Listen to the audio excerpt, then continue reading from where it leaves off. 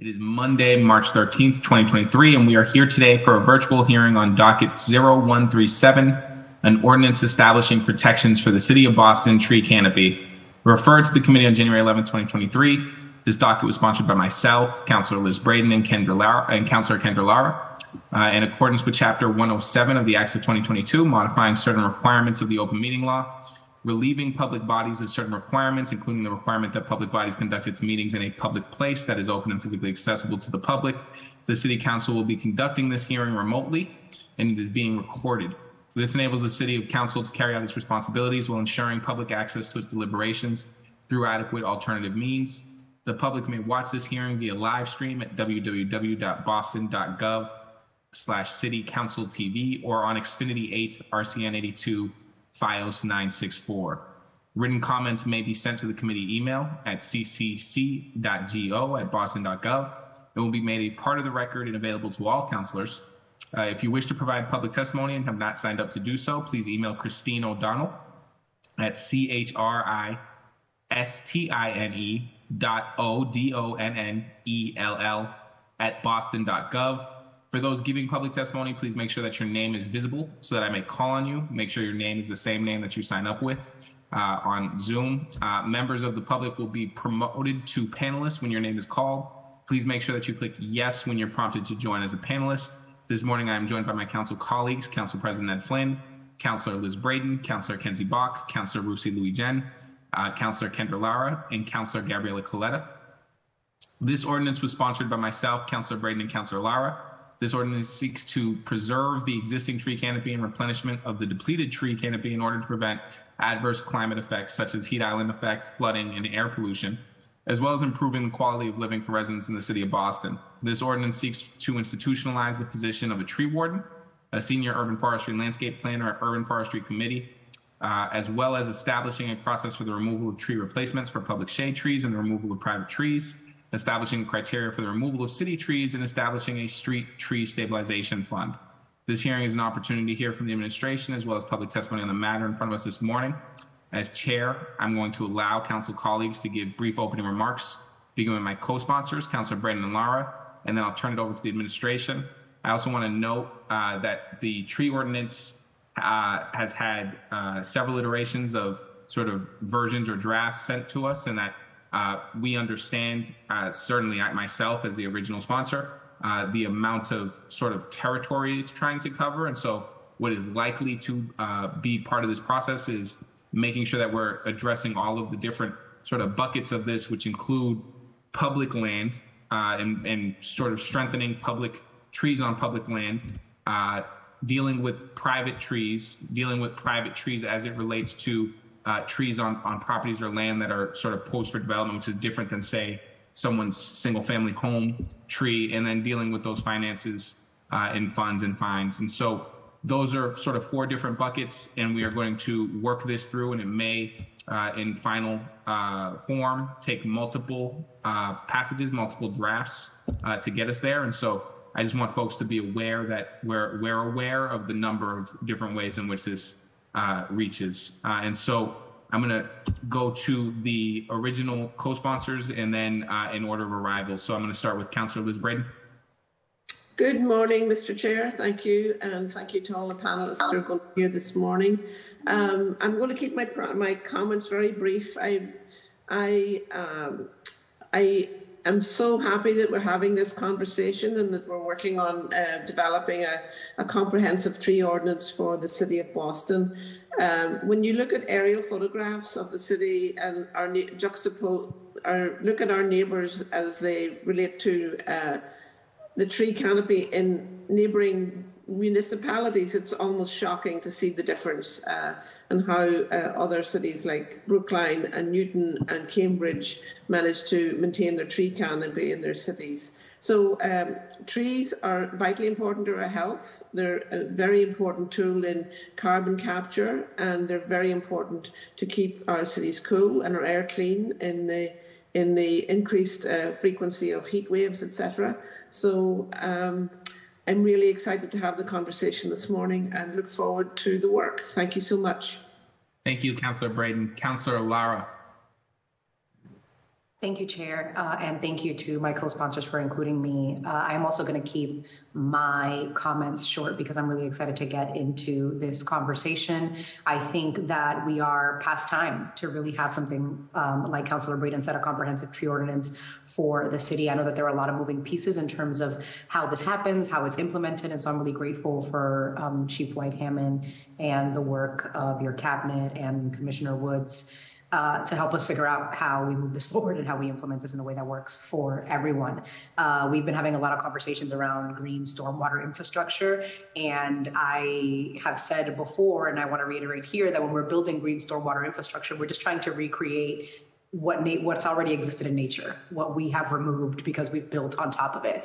And so maintaining our trees, making sure that we're protecting the tree canopy is just one way that we are trying as we expand our urban city, that we're maintaining as much as we can um, and protecting um, the trees and our neighbors. So I'm here for this conversation and I will save my time. Thank you, Chair. Thank you, Councillor Lara. Uh, Council President Ed Flynn. Thank you, Mr. Chair. Um, thank you to you and to the uh, sponsors for the important work on this issue. Um, I'm on. I, I, support what is being proposed and what's being discussed. I think this is a critical issue. I know some of my district and District Two, especially Chinatown, has the fewest trees, um, probably of any neighborhood in the city. So I want to work closely with city officials to improve that, but also to address and maybe do an inventory on any trees that have been killed uh, through um, gas leaks as well. So I'd be interested in learning about um, gas leaks impacting our trees and how we're replenishing them as well. So I also want to say thank you to um, Reverend uh, White Hammond for the important work her and um, Commissioner Ryan Woods, their teams are doing on, on this issue. Um, thank you, Mr. Chair. Thank you, Council President Flynn. Uh, Councillor Bok. Thank you, um, Mr. Chair, and yeah, thanks also to the um, city team. I'm really excited that we're able to talk about this ordinance um, in in combination with kind of like a real ramping up of our tree capacity in the city, um, because I feel like I mean, you mentioned, Mr. Chair, there are a lot of component pieces to this. And to me, it's really important that we're looking at public land and we're looking at private land, um, and also that we're thinking about maintenance and how we keep our existing trees healthy, since that's such an important piece of the overall um, tree canopy. We obviously can't be adding if we're also losing and expect to grow to the kind of density of urban forest that the city really needs. Um, so just, I, I, really want to appreciate um, both the um, the administration members and also all the folks who have served on the task force and, and kind of just there's so many community voices that have been lifted up for trees and i suspect some of them will be on this call later but i just want to say there are a lot of the um, voices that i really value um, and and one of the things that i really value is the folks who are speaking up for trees in the city are also actively caring for trees. You know, my my district is really fortunate to see partnership with both the Friends of the Public Garden and the Emerald Necklace Conservancy on the care of our trees on public land. Um, and I think it's a it's a really great model for how the public and private side can come together for the public land trees. And I think it's a really interesting question how the public and private side come together to support the private land trees. Um, and so excited to hear from the chief and others about um, ideas and, and models on that front.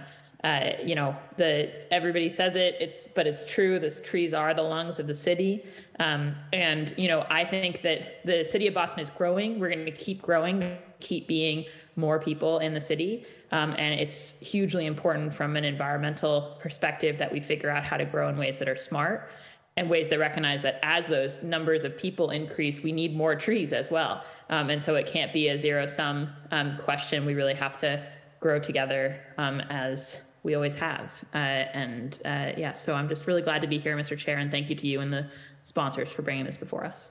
Thank you, Councillor Bok. Uh, Councillor Louijeune, uh, then will be followed by Councillor Coletta. Thank you, Chair, and thank you to everyone uh, for being here to discuss this ordinance. It's incredibly important, as everyone has stated. want to thank the administration for the work that you all are already doing on making sure that we are expanding our tree canopy and protecting our tree canopy. Um, similar to Councilor Brock, I know that there are so many people, individual private citizens, who take the onus on themselves to water our trees, to prune our trees, to care for them.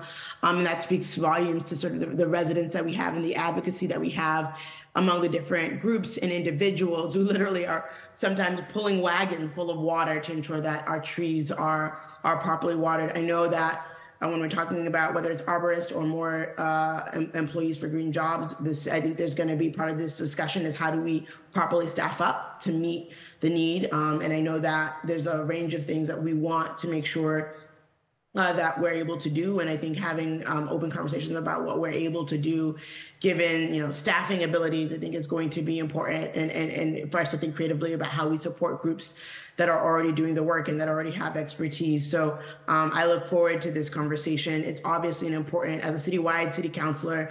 Um, environmental justice neighborhoods and areas are of uh, prime importance when we're thinking about uh, you know how trees you know the importance of trees to dealing with pollution, uh, carbon uh, dioxide release. I think uh, Councillor Councillor Flynn mentioned Chinatown being an area with with one of the neighborhoods with the fewest trees. I know East Boston is also a neighborhood that struggles with tree maintenance. So um, I'm looking forward to thinking about how we look at this also from an equity perspective and center the neighborhoods that have uh, have the lowest tree density, and and also think about how we support our private citizens who want to maintain trees on their properties but have difficulty doing so. So thank you, and I look forward to this conversation.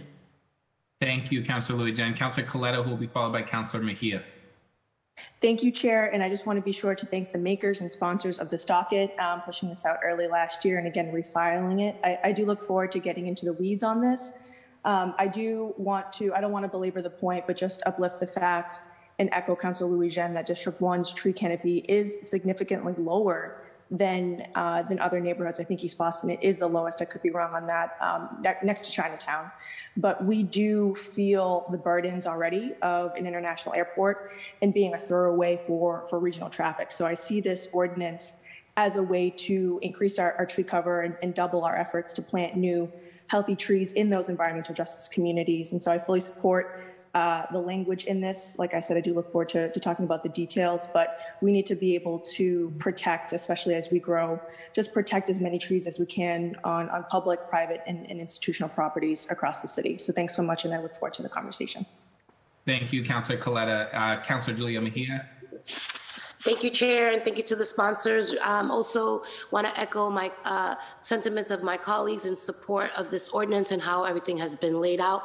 And I also just want to underscore that as we continue to have conversations like this, I think it's important for us to um, continue to uplift our, our, our most vulnerable and resilient communities who who are who tend to be the hardest hit on all things that deal with climate justice.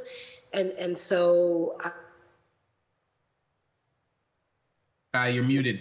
Start thinking about um, in terms of education and um, engagement with residents, I, I, think that you know there is a, an, a, what I'd like to say privilege in terms of uh, access to information. There there are some folks who don't understand the impact of of the importance of tree maintenance, and so I think there's an opportunity for us to also educate communities who feel disconnected from the environmental justice conversation. And I think uh, through this process, we might be able to uplift uh, some education that we can share with folks. Thank you. Thank you, Councilor Mejia. Uh, I just want to uh, do a quick just timeline for folks to understand. So this was presented uh, while the urban forestry plan was underway.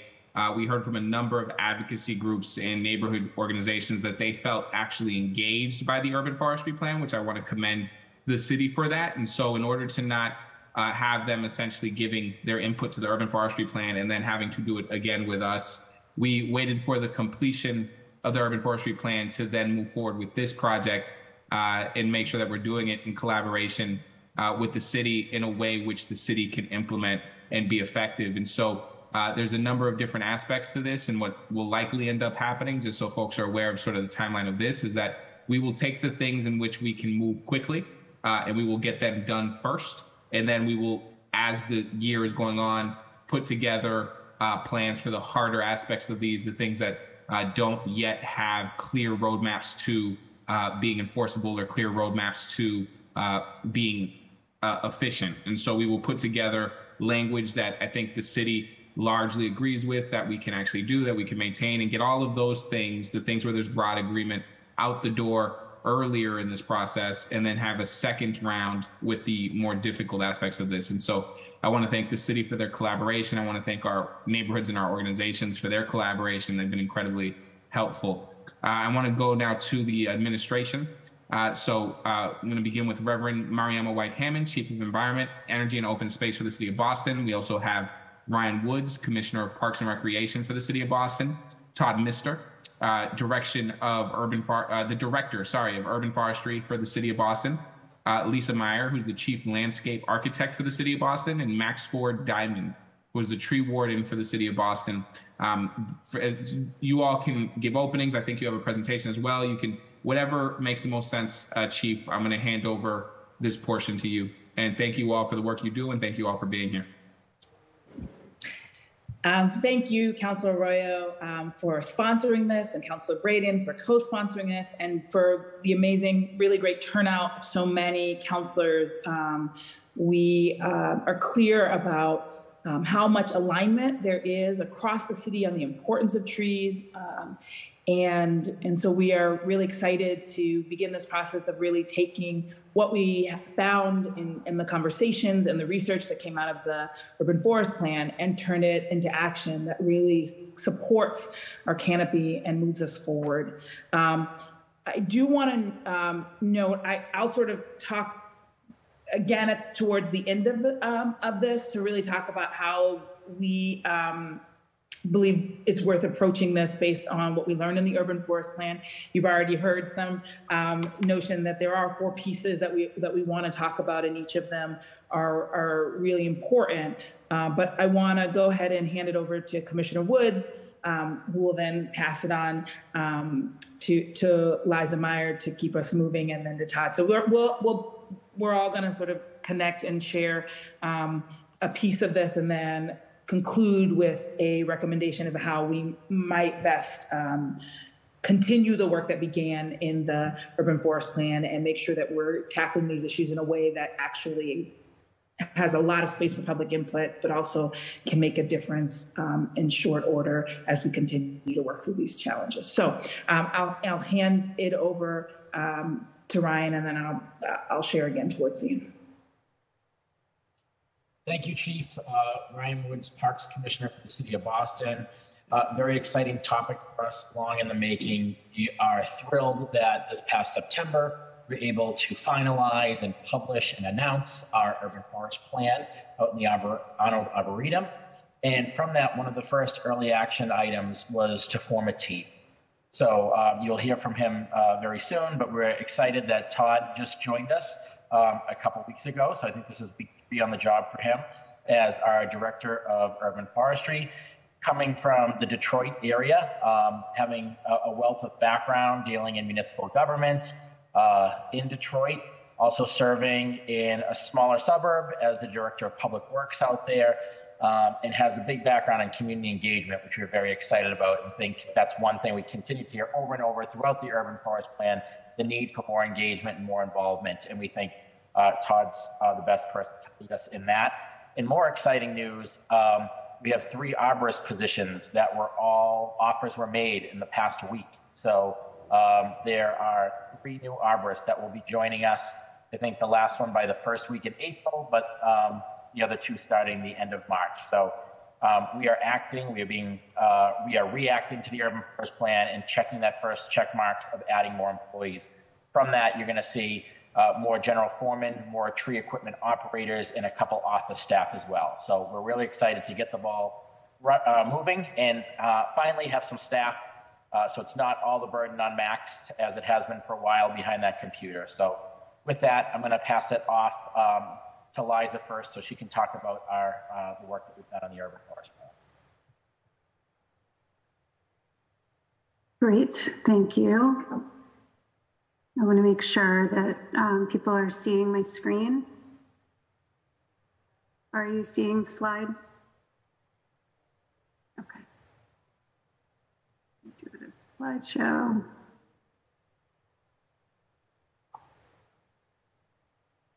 Okay, great.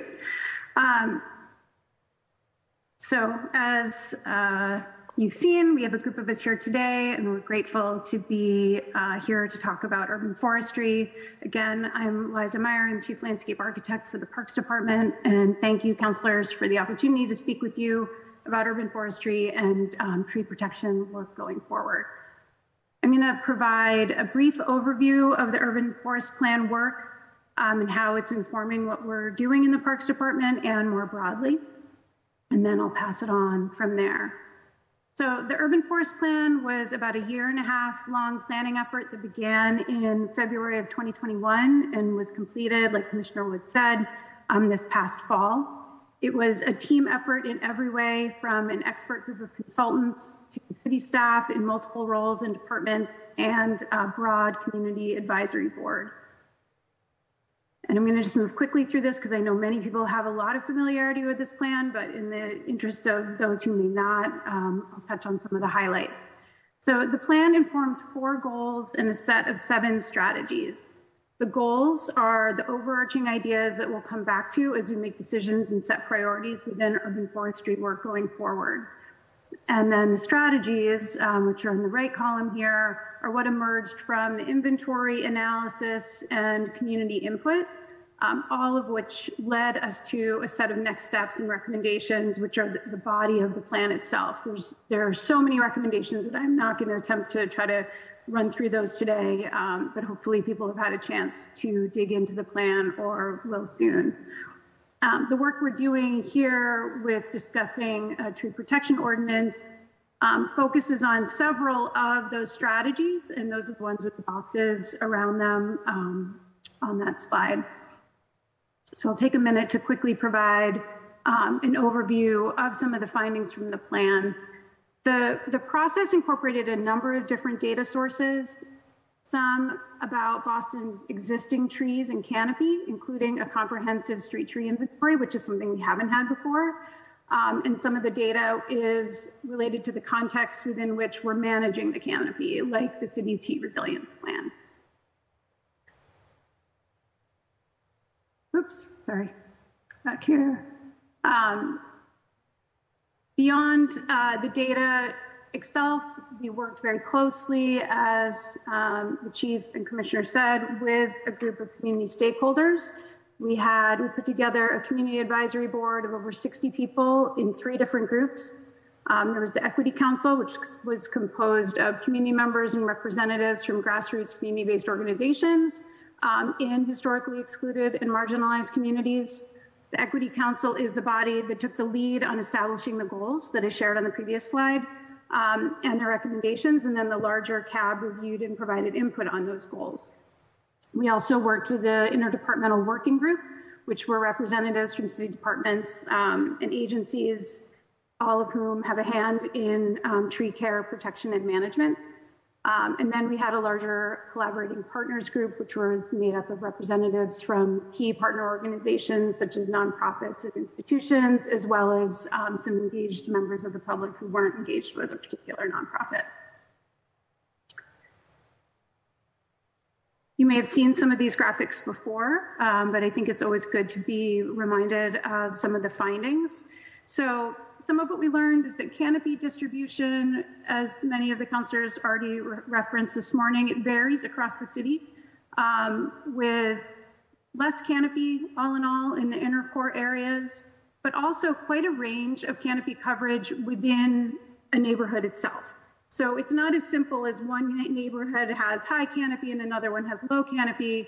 If you look at the graphic um, with the green, the darker green areas are areas of higher canopy, and you can see just within, let's say, Allston Brighton itself, there are parts of that neighborhood that are very, have low coverage and parts that have higher coverage. Um, we see the same or similar patterns in Hyde Park, similar patterns in Dorchester, even East Boston, we see areas of very little canopy and then other parts of the neighborhood that have, have more. So this is a complex picture that we need to keep in mind as we move forward. The two diagrams on the right of the screen um, show canopy change. Um, so the areas in red are the places where we saw canopy loss over the five years between 2014 and 2019. And what's interesting is some of those places where we're seeing the greatest canopy losses are also the same places that have higher existing canopy coverage. And then canopy gain, which on the right images are what's represented in the greener areas or the greener dots, um, are places where we, are seeing more gains in places where we have lower canopy coverage. So this is an interesting thing to keep in mind. Um, I think it tells us that some of the work we're doing to grow and protect the canopy in places that have lower canopy coverage is making a difference. Um, but it also shows us that places that have currently higher canopy are at greater risk of loss because there's more canopy there to lose. And we need to be, um, as we're talking about today, putting in place measures to protect those trees. Another thing that became clear um, through the urban forest plan process um, is that canopy exists on both public and private property. Um, we see more canopy on private lands in the city of Boston than we have on public lands. So about 60% on private property and about 40% on public lands. If we look closely at this, I'm not sure that it's easy to see in a screen share, but as you look into the downtown inner core um, neighborhoods, there's more of the green, the trees growing on public lands. That's the predominant um, situation in the inner core. And then as you move out of the inner core to the neighborhoods, we see more trees on private property, with the exception, obviously, of these large parks and, and space um, areas in, um, in those neighborhoods as well. So over the course, we did, um, before the urban forest plan, we did uh, a canopy change analysis with the University of Vermont um, that looked at data from 2014 to 2019, and that showed us that the overall canopy in the city had remained relatively steady at 27% um, between those years. But that doesn't mean that we didn't actually see quite a bit of change. It just sort of balanced out. So this graphic shows us where those changes took place. The green bars show acres of canopy increase, and the orange bars show acres of canopy loss. So what's interesting here is that the places where we see the most canopy gains are public open space, parks, um, the right of way, so streets, and then also institutional properties. And then the places where we're seeing the greatest canopy loss are residential properties. When you combine all of those acres of gain and loss, that's where we're seeing that we're pretty much holding steady. But if we weren't seeing so many gains in rights of ways, parks, and on institutional lands, we would probably be seeing that 27% number drop um, because of the losses on, on certain other kinds of properties. So where does all of this lead to? The plan produced a series of detailed action items and recommendations, and it also generated maps for each neighborhood highlighting priority areas for planting and for tree protection. The tree protection ordinance or a series of tree protection ordinances um, is one important piece of what we need to do as a city, and regulatory considerations extend to permitting processes throughout city departments, um, you know, from zoning to sidewalk permits, and these are all things that need to be thought through. And this work needs to be coupled with other operational investments. So some of the key takeaways from the urban forest plan are that protecting and caring for existing canopy is one of the most effective ways to expand the urban forest to build a healthier, more resilient city. And the trees need to be factored into all decision-making processes um, across the city in all departments. And that communication, education, and outreach are foundational. The city needs partners to help us be successful in this area, and we know that the public wants to be involved. So a lot of the work um, that the recommendations lead to are about is about operations and making sure we're able to invest um, where we need to invest and sustain those investments. So with that, I'm going to turn it over to Todd Mistor, who is the new director of forestry, to talk about some of the operational changes that are already underway. Well, thank you very much. Um, I'm very happy to be here, and uh, it was a great introduction from uh, Commissioner Woods. And I have been in this role now for two weeks, and in fact, I've been in the city of Boston for two weeks. Again, my background, I worked in the city of Detroit for a number of years in urban forestry, and also worked, as Commissioner Wood said, for another municipality in a public works capacity. So I'm excited to be in a place like Boston that really, again, has a real interest in improving their canopy and especially doing so in an equitable and sustainable way. And it's not just advocates that are out there calling for this, but that there's um, real uh, political energy behind it, that elected officials really want to be a part of this process and engaged in this process. So again, the first part of this process is, you know, setting that roadmap, which Liza talked about already, that uh, urban forest plan, which has been, um, the process has been gone through and it's been adopted. Now that's essentially a 20 year plan, but we have to start somewhere on this road. And so if we could go to the next slide, Liza. So the first thing is just one of the things that was called for was just reorganizing our, our urban forestry division.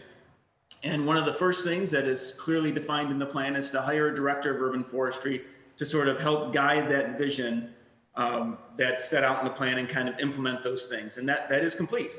Again, as of two weeks ago, I again started in this role. And then the next part of the process, again, as Commissioner Woods described, we have three arborists that are in the process of being hired. Again, offers have been made and we're just uh, waiting for them to be onboarded. Um, but that is really going to help us, uh, again, address this backlog of constituent concerns that we have. Again, first and foremost, as this urban forestry division, we need to, you know, address the resource, the asset that we're we're tasked with managing, and that is especially our, our street trees, our shade trees. And so we have this 311 system, and lots of calls and concerns come in on a daily basis. And currently, we just don't have the capacity with, you know, our, our tree warden, Max Ford Diamond, just can't keep up with all of that on his own.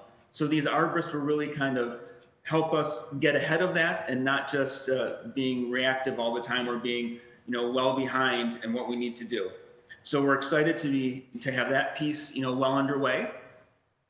And then ultimately we want to move to a more flexible kind of division and how we operate. We work a lot with contractors and you know we still want to um, use contractors for the work that we do of pruning trees and some large removals but we really want to have that flexibility of, of in-house work Currently, we just have one crew that responds to emergencies, but we want to build this out to having multiple uh, in-house field crews that can address the uh, address the needs of the urban forest, especially as we talk about these young trees. We want to plant more trees and build canopy, but we need to make sure that we maintain those trees, uh, especially from when they're very young, so that we can have these mature trees that will get us all the more benefits down the road. And then related to all of this, we want to have some admin support, and this will really help us um, make sure we're tracking our data and that we can eventually get this data available to the public in, in many forms. And then also making sure that we have good follow-up with constituents. You know, if people just put put in a phone call and then we go out and do the work, we want to have some follow-up, make sure there's some engagement about exactly what their concern was or if there's anything, you know, larger uh, that needs to be addressed after we've, you know, completed an initial work based on a phone call. And of course, we're hoping to have someone that can help us with some uh, some GIS work. That's Ge- Geographic Information System, so that we can map our our trees and the concerns related to trees, or just information about trees. So we're hoping to be able to to keep that information up to date and to share that very publicly. So we can move to the next slide. So ultimately, we really want to move to you know proactive a proactive urban forestry program. Again, right now we are very much reactive. Again, people call in, we go out and eventually inspect it and address it. And right now with that backlog, it could be weeks or months before we uh, can address a concern that's that's given to us by a particular constituent. So again, we want to have more of a regular uh, regular maintenance on a on a cycle, and this way we can maybe get the problems before people have to call in and, you know, this also helps us address, you know, areas where people might be a little more skeptical of calling on city services or they have less less history of getting response from uh, from city government. So if we can be pro- more proactive in those neighborhoods, you know, we won't have to rely on just the, the, the squeaky wheel getting the grease and the people calling us in order to address these concerns. Uh, but ultimately, all the work that we're doing really is going to focus around uh, some level of community engagement. You know, we need to understand the unique needs of, uh, of local neighborhoods, their unique needs and concerns. Again, we have lots of great maps and data like the one that's on the slide on the right, and it shows us priority zones that are looking at different indicators. You know, these are historically marginalized areas or where there might be, you know, immigrant groups or there's there's been some history there where they might not have gotten the level of city services, especially relating to the urban forest canopy.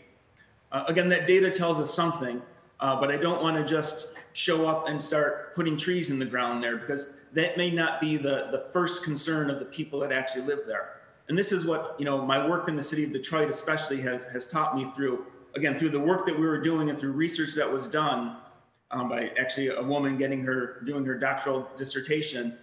Uh, again, the engagement with the community, people actually know a lot about trees and they like trees and they want trees, but we'd found out that people didn't want the city to go and plant a tree right in front of their house because there were other concerns. They just had a mistrust of, of city government and the fact that they were going to take care of it or that other services weren't delivered. So we really need to have a dialogue with individual communities, you know, to find out what their concern is. Again, we, we have this data, we could go there and just start planting trees, but again, that's not a, a, a, a recipe for success with, you know, leaving out that community engagement com component. Again, we engaged with the plan and we need to keep engaging as we move forward with implementation of the plan and different particular um, policies that we implement or, or, particular projects that we implement. And again, ultimately, we want to expand our tree canopy. That is the main goal here. Again, this is about sustainability and all the benefits of, of having a, an increased urban forest canopy. And We need to have the, the community support there. That may be them, you know, helping to water the trees at some point. That may be they just have some interest in the tree, so they're not uh, damaging it by taping signs to it or, or stapling things to it or parking their, their car right next to it and damaging it. So again, having that, that level of dialogue is, is important for any project that we do. And again, as we ramp up our, our crew here in the, in the forestry division, we'll have more capacity to, to engage on all aspects of the work that we're doing. And if we could just move to the last slide. And ultimately, we need to have some form of communication. Again, communication is key to everything that we do. Um, so we do have this uh, street tree inventory that was conducted as kind of uh, the beginning component of the urban forest plan. We want to make sure that we keep that up to date, that there is some sort of public interaction with that. Uh, again, so people can see what's out there, see what trees are in other communities, uh, maybe know a little bit about the condition of the tree or the species of the tree. Uh, we want to make sure, again, that this information is uh, very transparent and very easily accessible. Perhaps that's a, web, web page featured on the Parks and Recreation Department's uh, website on the city websites. Um, but we need to consider all media. And that may be social media, but that may also be something as simple as printed media. Again, understanding that there are different levels of access that people have in different communities. Again, so engaging those communities and understanding what what is best to, to make sure that they have access uh, to information that we able to provide. Again, ultimately, I put community engagement once again.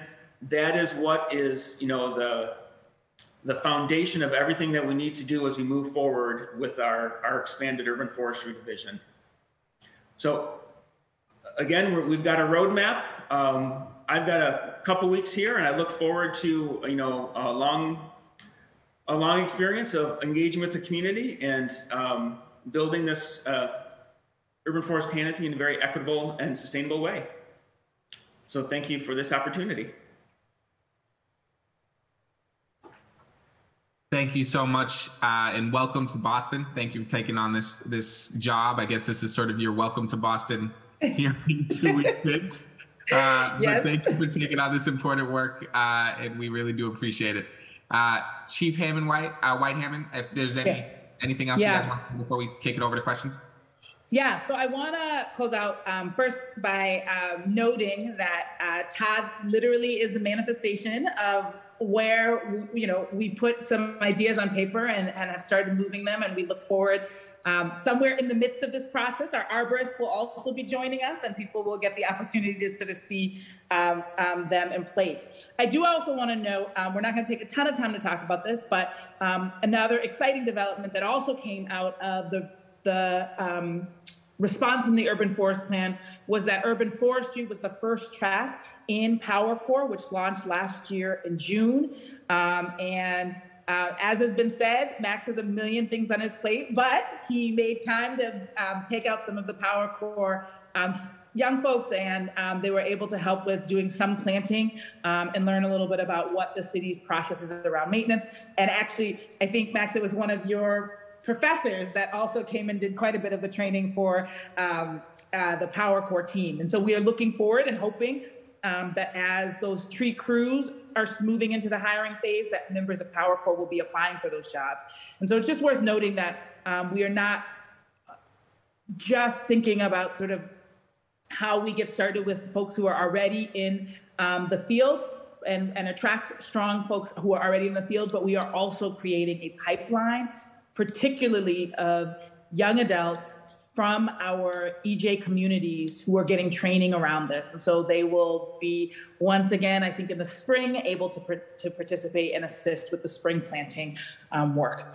Another thing that's also worth noting, just so folks know, is that um, we have recently um, awarded uh, a, a grant to uh, Mass Audubon to support on planting on private land, um, which is really excited, exciting. Uh, and we'll be getting our first planting season, a pilot planting season this spring. Uh, and so just want to note to all the advocates uh, who are on this call, we hope that you'll be hearing from Mass Audubon. Their goal, their work is to convene an alliance of uh, tree planters across the city that can do work on private land with a specific focus on our environmental justice communities where we've had um, it, that are particularly under canopied.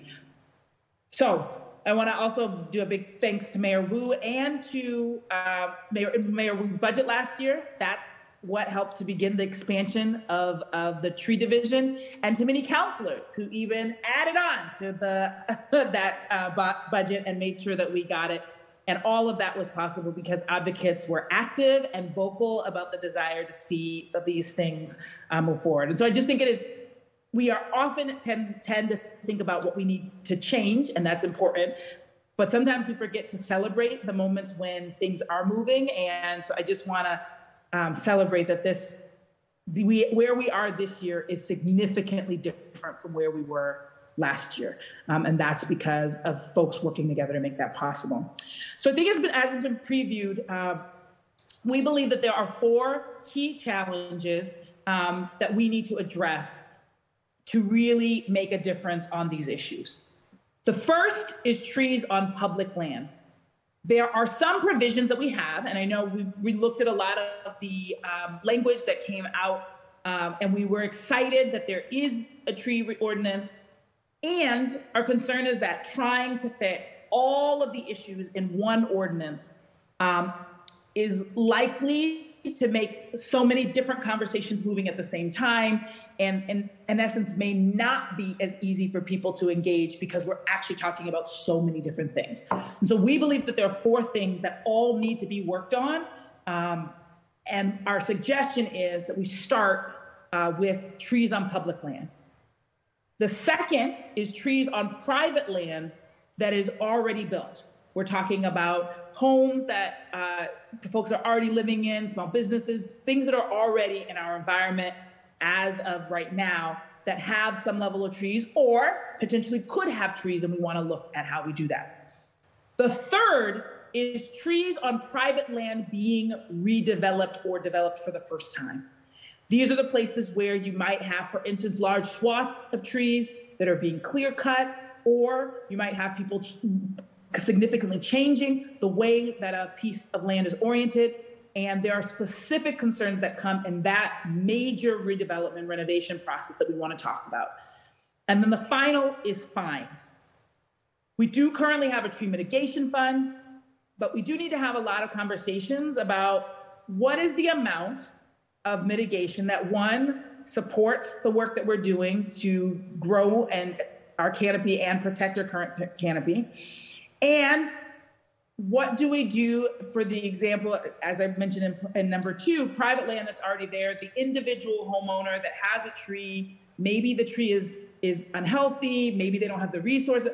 How do we really think about um, an amount and a fine that that deters people while also thinking about people who may not have the resources that they need to, to care for trees we do not want everybody to be thrown in the same bucket of fines. And we need to think about, um, in some cases, are there instances where we might need a home rule petition to be able to change some things? Um, these, all of these different issues are governed by different sets of city and state laws um, and past practices that all need to be looked at. We also would like to see more of our um, city team in this conversation. We are having conversations with other departments that are impacted by this or play a role in this. Um, and we want to create some opportunity for more of their engagement. And so we actually are suggesting that we start this conversation with the trees on public land, move forward with a robust community process as part of this, but also create an opportunity to invite in some of our sister agencies that also play a role in trees. Public Works, Boston Water and Sewer, um, and a number, the Disability uh, Commission, a number of different groups are actually impacted and are making decisions that have impact on our trees. Um, and we've started conversations with them. We actually think we should Boston, Boston Public Schools, for instance. Um, again, there are a lot of agencies that have trees on their property, want to look at how we do that, want to look at how we're more streamlined and clear, Boston Housing Authority, et cetera. And so we think that um, breaking it up into those four buckets will actually focus the conversation. There's still a lot in each of those buckets. So I don't want to make it seem like, oh, we just do this, it'll be fast and and and done. Um, each of those buckets is actually relatively large and they require different folks at the table to have those conversations. So we've actually shared um, recently some language uh, around trees on public land. Uh, we spent some time looking at best practices elsewhere. Uh, we also had, particularly Max, participated in sort of saying, where have we been running up, up against issues that we haven't been able to fix and that we need some help on right now? Uh, so I want to um, put that forward. I think I thank the councilor uh, Arroyo for being open to that to that notion. Uh, we heard clearly from folks that they want to engage, and our suggestion is that trying to engage on what could end up being almost feeling like, you know, 50 different issues might actually be hard for folks to track the conversation, hard to figure out what decisions we're making, hard to figure out who needs to be in the conversation. And so if we can break it down into smaller buckets, we can actually deepen the engagement, make sure that everybody has the same level of information, and then make the decisions that make um, the most sense for each different uh, piece of the canopy. So um, we can share that. We've shared that back, and I hope that we'll share that with other counselors uh, but I know we will also have a working session coming up relatively soon, so we can go over the specifics of that. It takes off a, piece, a chunk of the of the current ordinance, and then expands it to actually add a number of other issues that we've uh, seen on the ground and, and want to make sure are addressed. So I thank um, thank you for the opportunity to be here. Thank you for the great turnout by um, the council, and we're really excited to dig in. This is the next big manifestation of the urban forest plan is getting all of these policies right so that um, our team have what they need and the trees have the protection that they need so that we can be expanding our, our, our canopy, um, not just in the short term, but for the long term. Thank you so much, Chief. Uh, and I will just say uh, I'm in full support of if we have to break this in chunks, where so just so folks are hearing it correctly, we're not discarding any aspect of the tree ordinance. We are simply saying there are aspects of this that we can operationalize much sooner than other aspects of it. And rather than hold them all up, we'd like to get them out quick and fast so that we can address those problems fast. And so what we will do is uh, likely bifurcate this so that we are dealing with issues uh, that we can take care of sort of immediately where there's broad consensus and operationally we are prepared to do them right away. And then we will continue to work on and get ready for later in this year getting out the second portion of this uh, that requires some some on ramping and some uh, some real work. Uh, as has also been noted, there will be a working session in April uh, on this, where that language that has been sent over by the administration and language that has come from advocates and all of and, and any of my council colleagues who might have language, all of those things will get put on the table at that time.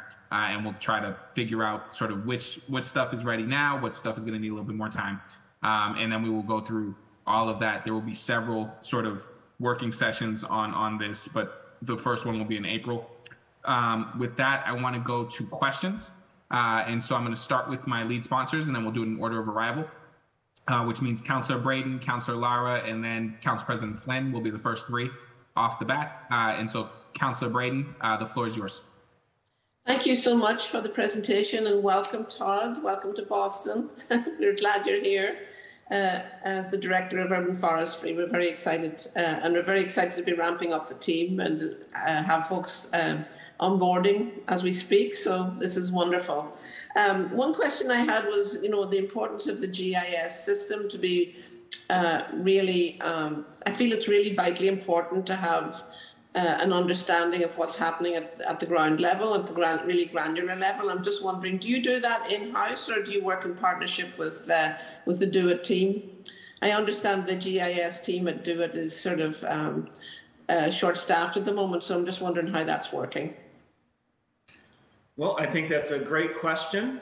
Um, right now, the plan would be if we can uh, collaborate with DoIT, that would be the you know most immediate way to address it. But you know, to add a staff person that has GIS uh, uh, experience and GIS knowledge would be ideal for us to be able to have, again, that more direct connection to updating it and making sure that our needs aren't put, you know, in the queue behind everyone else's. So uh, again, in the immediate term, I'm going to try to work with uh, DoIT in any way possible. Uh, but I think uh, um, we would prefer to have an in-house person specifically within our division to to address our concerns. Yeah. You know, for me personally, I think, um, you know, there's so many departments. If we had a, a really robust G- GIS uh, department that could support all of us across all the different all the different um, departments in the city, I think is, is something I'd like to see. But we'll ask a conversation for another day. Um, well, Councillor, right? Oh, just to, to give you a quick update. Um, as as Todd has said, we are both sort of looking at what we already have. There is a system that we had already put some data in that we want to reactivate. But I do. We've also been having some conversation with uh, the streets cabinet because they're looking at a new system, and the question is, would it make sense for our system potentially to be integrated with their system? With trees would be looked at as a um, city asset. It's a little strange of a title, but the point is that other other things like pipes, et cetera, would be able to go in that system. And the, so anyway, so we we are opening that conversation um, to see if we could have one system that holds everything, and then that would make it easier for you, for the public, um, to to sort of tap into those resources. But that conversation is is probably six months to a year from being settled. So you know, I think the do the the GIS system is an incredible tool. Like it's really, really, really powerful, and it would cover everything. Um, I just feel that you know, in terms of we don't need to be reinventing the wheel and and take, getting a license for another system that's duplicative or not not connected that doesn't actually talk to the GIS system. So, you know, I think that's a conversation that we need to um, explore. At, you know, in a bigger sort of ad, admin, city admin level across different departments to see if we can get something that get put some juice in the tank for the GIS um, system so that we can we can uh, utilize the incredible power of the tool across across different departments. I think that's what we'd, we'd love to see. The other um, the other question I had was really, you know, we have trees in public land, trees in private land trees on private land that's going to be developed and then development of under, under, underdeveloped or undeveloped spaces that are seeing development, that's seeing the removal of, of trees.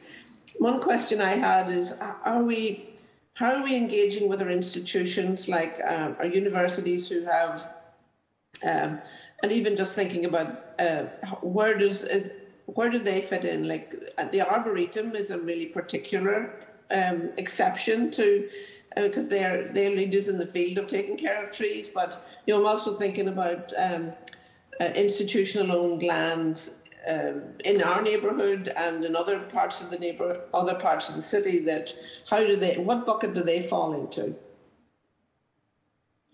So two things that I think are worth noting where we're making some strides. So one, um, this tree alliance that we talked about.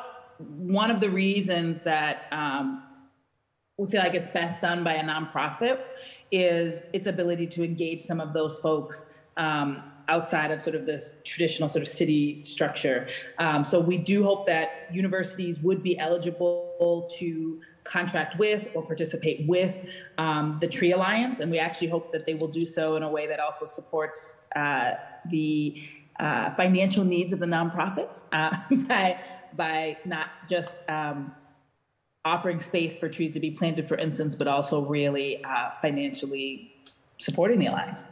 The other layer to that is I met last week um, on Thursday. The Green Ribbon Commission has a uh, there's two groups that the Green Ribbon Commission is, or three groups that they're engaging to that we specifically hope will be more active in the conversation on trees. The Green Ribbon Commission is a, um, for those who may not know, is a, a, partnership between the City of Boston and um, the philanthropic community, to particularly the Barr Foundation, to help bring together the uh, multiple large institutions in the city and help get them on board with and in alignment with our climate work. Um, and so we met on Thursday with the um, healthcare institutions and the, the colleges and universities to particularly talk about what they can be doing to support the city's climate work. And at that meeting, one of the key things I brought up was trees particularly those who sit in environmental justice neighborhoods, because we think there's a real opportunity uh, for them to be thinking um, holistically. Uh, particularly, Northeastern was one of uh, the spaces that was there. Harvard was also there. So, really, how do we engage them to be um, sort of just more active, even paying attention to the conversation? As because while we are suggesting a need to focus on on um, public trees to get started, I will note that often they are the ones, sometimes they are the ones leading these big development projects. So um, getting them to be more in alignment with our goals around the tree canopy could have multiple uh, benefits. Very good. Uh, Mr. Mr. Chair, how am I doing for time? uh, so I, I, think you're probably at the five minutes, but I want to make sure that the original sponsors have time for their questions. We will do a second round if necessary. Thank you. Thank you, Mr. Chair. Thank you, Councillor Breadon. Councillor Lara, the floor is yours, and then it'll be uh, Council President Flynn. Thank you, Chair, and thank you to the administration um, for your presentation. So I have a few questions. When, and I might have to go for a second round, when there are trees removed, when trees are removed at a property owner, at the request of a property owner in a residential, what is the most common reason for removal? Like, what is the most common common reason that you get from private property owners for removal?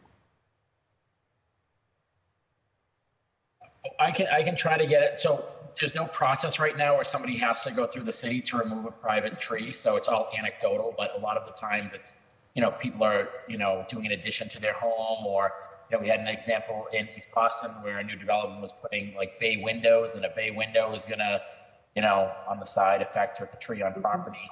No, it, it's all usually for development reasons, but there's it's all anecdotal because there's no process currently where a homeowner would need to notify the city if they're removing a tree on private. Okay, so we're so it's only the councilors get 100 emails about removing trees. Um, we might want to pull those. There, there are also instances where uh, tree roots are a challenge. I know my parents. Yeah, tree roots on the sidewalks that are like lifting sidewalks up, messing with people's property, and so on and so forth. We get we get emails, but I guess you're right. It's all anecdotal, so we don't actually know. Right. Where most of it is. So in, in our in our plan, we what we know is that we've lost the most tree canopy uh, in residential land than in any other kind of land use. And this ordinance, uh, we're trying to correct for that by requiring a permit for removal of what we're defining as significant trees. Um, as it's written here, and I know that you know where there's a plan to kind of bifurcate this and separate these two.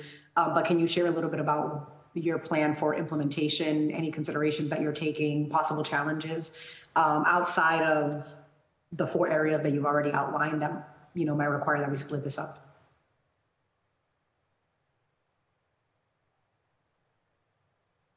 So I think part of the reason we're recommending to split it up is because there's actually a lot of issues that fall under each of those. So, mm-hmm. um, for instance, currently, uh, people don't have to apply for a permit, right, to remove a tree. So changing that is actually a pretty big change. And then the question is who would regulate that process? So we've had, like, as an example, some beginning conversations with ISD. What would be um, the practicalities of that? How would that work? How do we look at what other places have done? Uh, because right now, the Parks Department, for instance, doesn't have a lot of uh, interaction with direct individual homeowners, right? That's not been our purview. Um, even what we are suggesting in this first chunk is that in the past, other city agencies haven't even had to necessarily tell us if they're taking down trees. So that's actually an expansion of powers for the Parks Department already. Mm-hmm. We are suggesting that if BHA, if Public Works, if Water and Sewer, BPS is going to do work on trees and take them down, in the past they have not had to tell anybody. So we don't have, to be honest with you, good data on what's happening on private or public land uh, mm-hmm. because so many different entities exist. What we are asking at this point is that we expand to the point where everything that's on public land that's city owned, actually we keep that data together by if somebody is going to do a tree removal, say for health, that they at least let us know so we have a, a, a, sense of where are we growing, where are we, um, where are we declining. Um, so at this point, the truth is that tree work has sat predominantly in the private sector, and we don't even have the good data on that, but we do have the instances. We do get some of those emails too, counselor. Uh, so we we know what people are concerned about. We just often don't have the jurisdiction um, or the the people to be able to go out and and to address that. So that's why we're also saying let's take it in, in stages because it's kind of a very wide set of challenges and issues that we're dealing with. Great. So we, in this proposed ordinance, it would create a tree stabilization fund for planting replacement public shade trees in the city. And you mentioned earlier that we have a tree mitigation fund as well. Can you tell me a little bit about uh, the similarities and the differences between the fund that's being proposed in this ordinance, the fund that currently exists, and what the funding mechanism is for the tree mitigation fund that we currently have? Ryan, did you want to take this? So currently, um, there is a fund in uh, our nonprofit, which is the fund for, for parks. And the good thing with being in the fund is the money is going right back into tree plantings and tree work. Whereas mm-hmm. a lot of the funds with the city, if people are paying into these funds, it goes back into the general fund. It doesn't actually go to the department. So by having it in our nonprofit, it is going directly back in a line item that is earmarked specific, specifically for tree work. Mm-hmm. Um, currently, and, and Max can probably go into more detail into this, when somebody proposes uh, removal of a healthy street tree uh, after a tree hearing was held under Mass General Law Chapter 87, which it could be for somebody, you know, putting in a curb cut or um, another type issue that they have in front of their home. Um, mm-hmm. there is a measurement where they have to pay $550 per every caliper inch at chest height. Um, and that money comes in to us and that goes directly into the fund. And that mitigation is used on other plantings or planting related projects that we have going on. Okay, so it's a similar similar funding mechanism from from fees or fines, um, and uh, it is maintained in the nonprofit and the fund ultimately, so that you can earmark it for replanting trees specifically. Correct. Do you see any any other opportunities outside of the requirements in this ordinance and outside of the the funding stream that you currently use for the tree mitigation fund? Um, like any other opportunities for a different stream of income, like other types of actions that would produce fees or fines that could come into the tree mitigation fund?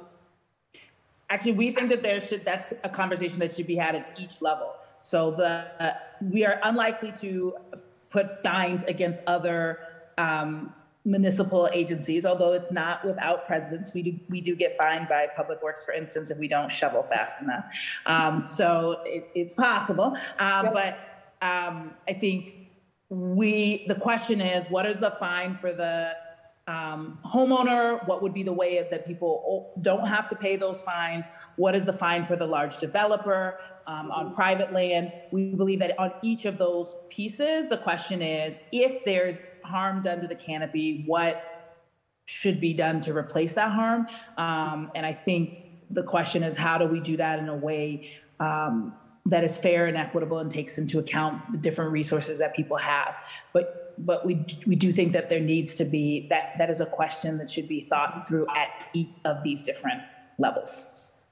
Okay, so that that is actually a good segue. I'm going to skip the question that I was going to ask next because I have a section on tree maintenance and this idea of us supporting people, um, waiving fees or fines for people who might not be able to afford maintaining or needing to remove the tree. There's some of that already in the ordinance in terms of like waiving fees, um, the warden be, being able to kind of make decisions about tree removal and so on and so forth. But I, you know, I do agree that it could be more robust and clearer, specifically at these four levels that that you're referencing.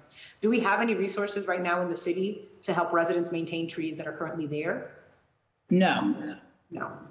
So is there an opportunity to kind of instead of uh, only using the tree mitigation fund for planting and replacing trees, also using this tree mitigation fund to support these communities, working class communities, um, and homeowners who might not have the resources to really maintain the trees on their property? That is something that the Alliance could take on.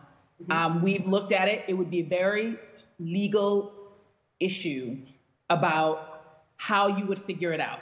Because honestly, if people have the resources to pay for the tree, like work on their in their home, they should do so.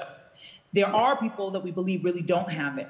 The mm-hmm. challenge is how would you make the decision about whose work you do and whose work you don't do?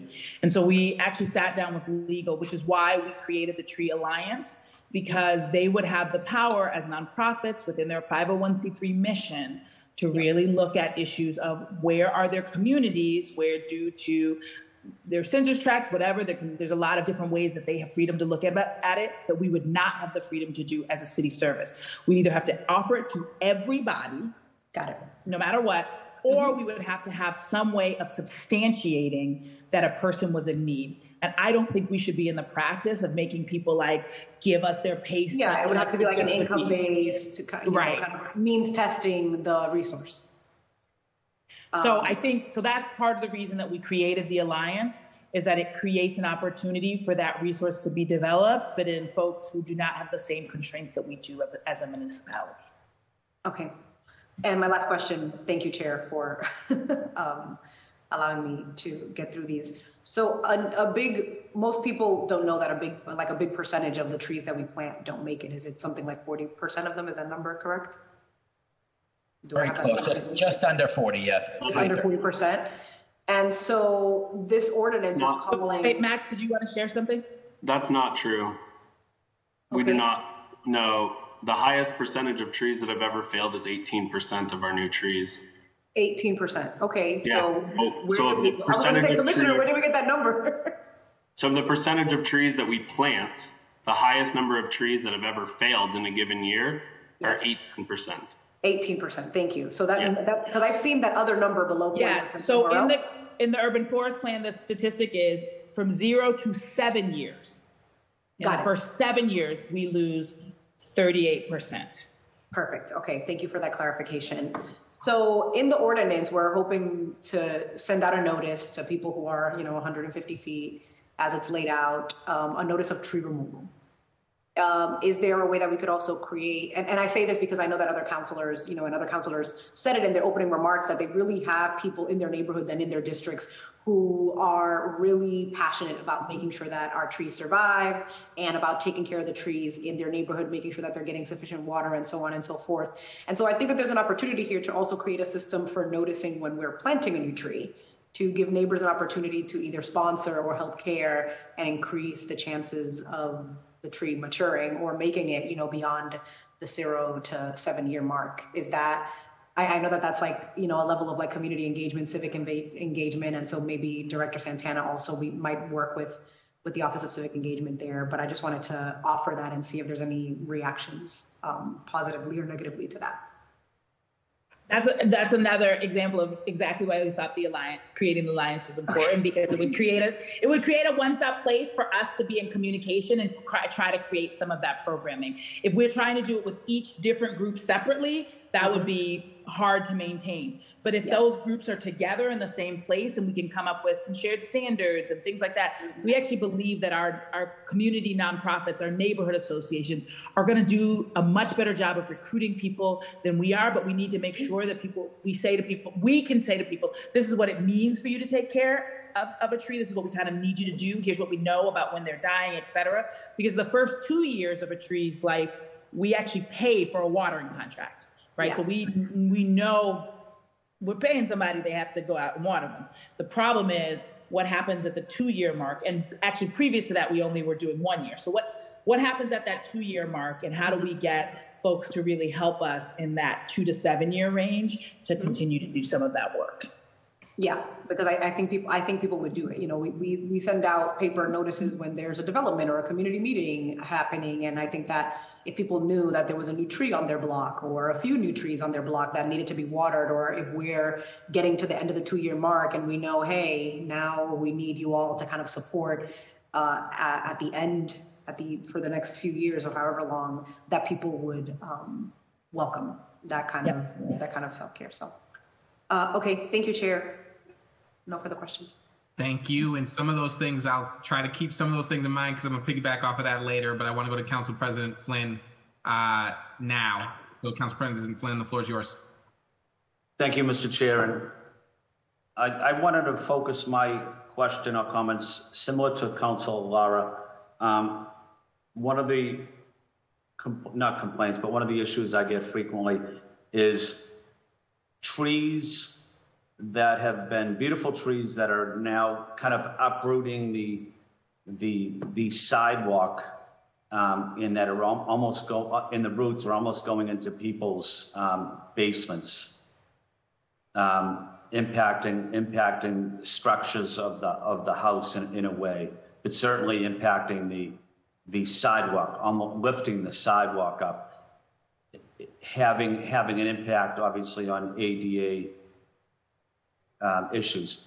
Um, so I just wanted to ask, generally speaking, about what what the process would be if someone wanted to remove that process, remove that tree, or at least communicate with with your team to get it get an opinion on what what the best thing might might might be able to do. Sure, I, I'll, I'll start. And just so everyone's aware, I think Max and Todd will be joining us. The power just went out at their building at 440 Park Drive, so they're trying to get back on um, through a Zoom, I believe, from their phones.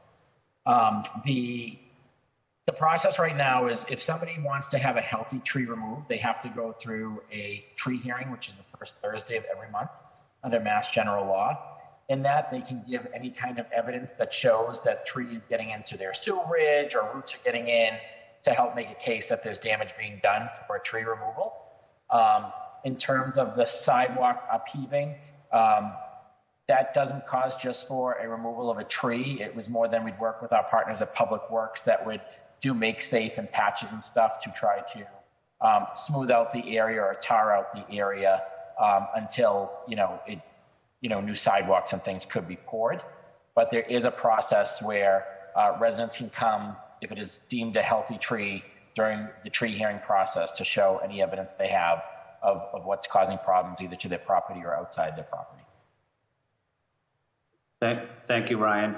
And Ryan, just as a follow up on that, can you explain to me, and that, because I get this question frequently from residents, what is the public process for removing a tree in, in, in terms of notification of residents that a particular tree will be cut down, you know, next Friday? Um, and is there, you know, just, just the notification process, how do we notify residents? And is there an opportunity for residents to at least weigh in in support or not support, just, just in the, just in the interest of transparency? Yes. Uh, so Mass General Law, Chapter 87 requires at least two notification. So right now, um, our tree hearings are always the first Thursday of every month. They're posted through the city, through the clerk's office. They're also a legal ad is taken out by the proponent that is trying to remove the tree. So it's in the local newspaper, and we require a posting to go on for two weeks at least on the tree in question. So um, a almost like a press release form of eight and a half by 11 piece of paper that states when the that this tree is in question, and we look for the public's input during a tree hearing that would happen on that first Thursday of the month. That way, more people in the community than just the immediate abutters, anybody that walks by and is, you know, uses that as their, their route to and from or commute, um, can see that too and can engage in the process. We do take um, all kinds of feedback, and that is a community process to for the tree warden to hear support or objection from um, abutters and residents about the removal of that tree.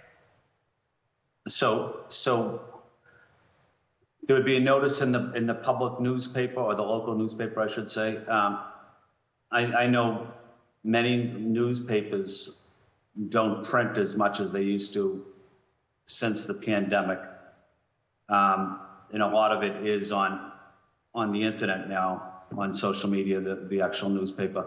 Um, and there might be some challenges of, of residents not not accessing the newspaper, but I, I, I, always wanted to fix the, the part of posting a, a notice on the tree itself. Is that, is that the best way for us to communicate or are we able to have something more robust than that in terms of, you know, doing a literature drop, you know, for two or three streets in and around the tree, something, something a little bit more personal towards the residents in the impacted area? Yeah, I, I think the reason why it's posted on the tree is then because it's at the cost of the city that posts the notification on the tree instead of on the resident. Not all residents had the resources to do the literature drop, almost like you have to do with ISD and stuff. If somebody's doing a, a renovation process where it, it, gets, you know, whether it's certified mail or regular mail that goes out, then not everyone had the resources to do that. So by us posting it or the tree warden going out and inspecting and posting it on that tree, it is a public notice on that tree. So everybody that is there for, and it's for a two week period leading up to the hearing. Okay. Uh, thank you, Commissioner. My final question, uh, maybe to uh, Reverend White Hammond. Um, thank you, Reverend. Um, and I know we've talked about this on and off for several years. Can you highlight to me what the short term plans are and the long term plans are for um, planting trees in Chinatown and how we're going to sustain them, what environmental challenges might impact um, new trees, and what can we do to provide more trees to this neighborhood that desperately needs them? Yes. So I think Chinatown is one of our it is by far the most impacted neighborhood, um, and and it's challenged, as you obviously know, because so much of the development is already there. Um, there's there's a lot of concrete, um, which does not help with uh, water. It does not help with heat. It's just a real challenge. So there's a couple things I, I think we can say. Part of the reason that we are beginning this conversation on private land I mean, on pub, public land is because that's one of the places, particularly in the example of Chinatown, where we might have an opportunity to make clear impact. How can we have a conversation with BPS about the redevelopment of um, the Josiah Quincy and making sure that there's a robust amount of trees in that project? As also, uh, I know you've already noted that we um, recently were granted a planning grant for reconnecting communities, um, particularly to look at the land above um, Route 90 to really think about whether or not there's a possibility to include a park over that by closing off some of that land um, and being able to uh, reconnect Chinatown with a, a park space. And we're looking at a variety of other spaces. So in Chinatown, we are, are, most focused on one, how do we maximize the public land that we already could be working with our partners around? We are looking at land acquisition, um, and because there's just a need for more parks there um, and more open space there. And we would certainly want to look at uh, private land development, I, am not sure, unfortunately, that there's a ton of opportunities in Chinatown around that because so much of the land has already been developed and unfortunately kind of sometimes right up to the curb. Another thing that we should be talking about, it's not part of this conversation per se, but it's something that I want to just note because it's worth thinking about. Um, when I went to this past summer, I went to visit Montreal. Um, that is really where we got the idea for the Tree Alliance. That's the that's a, a piece of infrastructure that they use there, um, and and just a really creative way um, to make sure that um, folks have the resources, the advocates have the resources that they need to be able to uh, get their hands dirty and put some trees in the ground and really protect them and engage residents around that piece. Uh, one of the things that they've done, and again, I know this is a sensitive topic for, for Boston, so, but I'm just going to name it because it is a best practice that is starting to happen around the country. Um, one of the big challenges in, in, Chinatown is that the sidewalks are so um, thin in most places that the ability to put a tree there, um, you a, a person just using their two legs would have a hard time getting around, and it certainly would not be passable for a wheelchair or someone um, that's pushing a baby carriage, or even people, quite frankly, you know, moving dollies around to load them in and out of restaurants. And so, one of the things that people are doing is looking at planting trees directly into the street. It does cut down on the amount of parking, but it also can open up whole new areas of land for tree canopy. And when I look at some of the places that this has been most done, it is often places that have similar attributes to Chinatown in the sense that there's just not enough space on the sidewalk. So I'm not proposing this right now. I'm not saying that we're going to get started right away. Um, but Councilor Flynn, you are raising the part of the city that has the most challenging um, dynamics in terms of there being very, very little available land on which to plant trees. And this changes that dynamic. Of course, it would take people doing a lot more using of public transportation. I know that business owners would be very concerned about the loss of parking, so I'm not saying we can do that overnight. it would take a lot of engagement. But that is a best practice solution for communities where um, there's not a lot of additional space on the sidewalk um, to be able to plant trees. Thank you, uh, Reverend Whiteham, and thank you to Commissioner Woods and the other um, the others from the city administration. I see Liza and um, there was someone else that was here. Max and Todd were both on, and power went out at their office. So hopefully okay. they'll be back. Okay, yeah, I didn't recognize I didn't recognize them, but um, I wanted to welcome them welcome them to the city. I think they're new employees, so wanted to welcome them to um, the city of Boston. They're working with a great team. But having said that, uh, thank you, Mr. Chair. Thank you, Councilor. Councilor Louijeune, followed by Councilor Coletta. And I want to note we've been joined by Councilor Tania Fernandes Anderson. Uh, Councilor Louijeune. Thank you, Chair, and thanks, Admin, again for answering um, our questions and for being here and for your steadfast work. Um, I have a question regarding something Liza mentioned, which I thought was really, really important, it was about data disaggregation when we're talking about environmental justice neighborhoods, uh, but to, to really zone in and, and think about what that means for uh, the tree canopy uh, within certain neighborhoods that might not be deemed an environmental justice neighborhood, but in certain areas they they there aren't as many trees. Like you mentioned, Hyde Park being one of the neighborhoods where I live. You know, there are other neighborhoods where maybe they're not considered an environmental justice neighborhood, but there are areas within that neighborhood that don't have a significant tree canopy. So I'm wondering how we're thinking about those areas and, and what is going to be our approach our sub approach in, in those neighborhoods where perhaps it's not an EJ where it's not an EJ neighborhood, but there are still concerns around uh, a lack of a tree canopy, um, racial equity concerns. So I just wanted to hear how we're thinking about that. Liza, did you want to jump in? Go ahead. Happy to. Um, I think it, one of the slides that Todd showed showed our um, priority zones um, it was it had sort of a, a, series of colors from pink to red, highlighting different areas where um, indicators of canopy need um, were layered on top of each other to highlight where our investments might be most uh, meaningful. But on that same map, you could also see that almost the entirety of the city has at least one, if not two, of those indicators. It's um, you know, the need for canopy gain and the canopy and canopy protection exists citywide. So I think I think you hit on the point. I mean, there we need to be doing this work everywhere. It's not about, you know, pitting one neighborhood against another, pitting one type of planting zone against another. We need to be moving forward with all of this work across the entire city um, because places that have more canopy today are at risk of losing that canopy.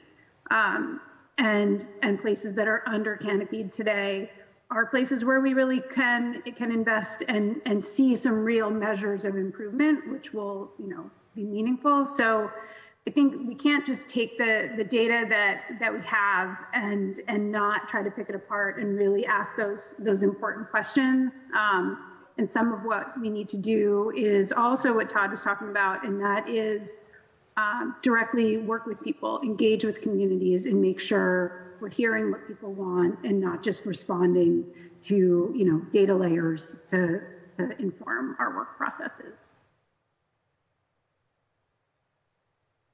Thank you, thank you, Liza. and Reverend Whitehammond, I don't know if you wanted if you wanted to add or because I know we've talked about this as well and sort of how we're thinking about those sub sub sub sub areas and neighborhoods. Yeah, I mean, I think that um, you know, as Liza showed really well, you know, one to say a whole community is all that is not realistic. If you look at there could be sub sub parts of a community that are really well provided for and some that are not at all. So we are paying attention to that. I will say though, we are starting our priorities in alignment with where we also see the direct impact of heat. And so that is, I do want to note that, um, that we are doing this in conjunction with the heat plan to really say, um, which neighborhoods are we finding a really serious impact on people's health and safety because of the canopy? And so we will be everywhere, and this is not about just what we're doing in the next year or two. We really have to think about this across um, number of years, uh, but we but we are paying attention to that. The other thing that we'll need to be thinking about is that there are a number of actors in this. As an example, Councillor Coletta raised the issue of Massport. I, I, think we need to open a conversation with them. They are a significant landowner in East Boston. And if we want to see a serious impact in East Boston, it, it would be hard to figure out how we would do that without their engagement. Um, and so I think. Uh, I think the, the key piece is we all want our tree canopy to grow yesterday, 100% to where it needs to be. Um, and I think we are clear um, that we want to move with urgency, but also with intentionality. Um, and that means we will start in some places, but the goal is to get to every place over time to keep being driven by, um, you know, where there continues to be need. And there's a lot of need across the city, but we are going to start and focus our resources first where the need is sort of most urgent and where we see significant heat differentials that mean people are more likely to be having asthma attacks in some neighborhoods if we can, for instance, like Chinatown, if we can increase the canopy there, the the benefits for people from a health and safety perspective would be pretty significant pretty quickly. It also will be one of the hardest places to make impact. So we're really trying to figure out. Um, but I think the key thing is that people should recognize we're in this for the long haul, and so it's not. Um, it's not about. Uh, the idea that like if you don't if you're not the number one most supported neighborhood this year you're not going to be seen we we need to get everywhere but I, I i you know i can't emphasize enough there's a there is a differential between who are most prevalent and active in our spaces and the communities sometimes that need the most support. So we're not going to just respond because you turn the most people out. We're going to respond because the data tells us that people need it and that it is life saving in some of our neighborhoods, that's where we'll, we'll be starting. Thank you, Liza, and thank you, Chief Reverend uh, Whitehammond. I think that's tremendously helpful in sort of making sure that we're centering the conversation um, around EJ neighborhoods and around uh, the neighborhoods that are experiencing that heat differential. I think sometimes that, that can get lost in the South, and I think centering that is important. I, I know that there are advocates in Chinatown. I was on a call last week where they were really uplifting the need for us to be engaging in acquisition of space so that they can have more green space for this very reason. So I want to continue to uplift that. I think President Flynn did as well. Um, the second question is, is, getting at you know the ways in which uh, private citizens are caring for a lot of our public trees. Again, mentioned there are folks who are uh, uh, pulling wagons to, to water our trees. My mom and I adopted a tree in our neighborhood and struggled really last year with uh, maintaining um, uh, the watering and the maintenance for that tree when we experienced um, drought-like conditions. And so I wonder, uh, you know, someone threw this out there, a community partner threw this out there last week to me, if there, if we've explored partnerships potentially with the fire department at all about, uh, you know, watering trees and what, what that, what would that could look like with our fire stations. I think that could be uh, a, a, creative solution, uh, part, part of the solution, not, not obviously not the entire solution, but part of it. Yeah. Yeah. So um, I know that Speak for the Trees has been able to develop a partnership with the fire department, and I actually asked them about that. I think that they have a, a level of openness, but what they were very clear to me is we we can't have a hundred different keys going around the city. So I think the the the um, question of like what scale is appropriate. Um, because what they were, what their concern was, if it's a small amount we can we can account for it. Were everybody using, for instance, hydrants to water trees, one, the chance that people would um, open them improperly, leave them open too long, but also the fear that if we were doing that everywhere, would we affect the water pressure that they need to maintain in the case of a fire? So I think there's some openness, um, but within moderation. Awesome. Well, um, I appreciate that these conversations are happening and that there's openness. Obviously, I don't think it is the solution, but in terms of if we're trying to, you know, make this, we're in this for the long haul, trying to bring all hands on deck. I think it could be a good way. I know that they, you know, that they they do do it in specific instances. For example, that I know most clearly here in Hyde Park, but um, you know, trying to build them into a, a, a solution, even if it's even if even if it's like a low level participation, but it's consistent throughout all of our neighborhoods, I think that could that could be part of the solution. So glad that those conversations are happening and, and can maybe be folded in here. Thank you, Mr. Chair. Those are my questions. Thank you very much. Uh, Councillor Coletta. Thank you, Chair Arroyo. And I do think that we have Todd back on the line. So I just wanted to say welcome again, just echo the calls from my, my colleagues. I do look forward to working with you and uh, the, the other arborists that are on the docket to be hired. It's, it's just so welcomed. Um, and I want to be sure to thank my colleagues for their advocacy last year in the budget cycle as well as the administration's commitment uh, for resources to fund these positions and just uplifting the chief's call out to celebrate this moment. This is one of those things where like I feel there there has been progress, both in terms of resources and collaboration. So I just want to thank everybody on this call for their efforts. Um, I also just want to thank the chief for calling out Massport as well. That was something that I was going to bring up. I've been shouting from the mountaintops that their pilot agreement is up for negotiations. And so if we are going to be a Green New Deal city and be able to hold our largest carbon emitter accountable for offsets, we should also be a role model. So just want to put a pin in that conversation and, and call that out as well. Um, based on the presentation, there were a lot of things that I love seeing, the priority zones of those in environmental justice census blocks, low canopy coverage, and um, something was also mentioned about historically marginalized areas. And I did see the areas in East Boston, Charlestown, and the North End that I have anecdotally seen as being in need of, of a tree canopy or um, expanding our tree canopy rather.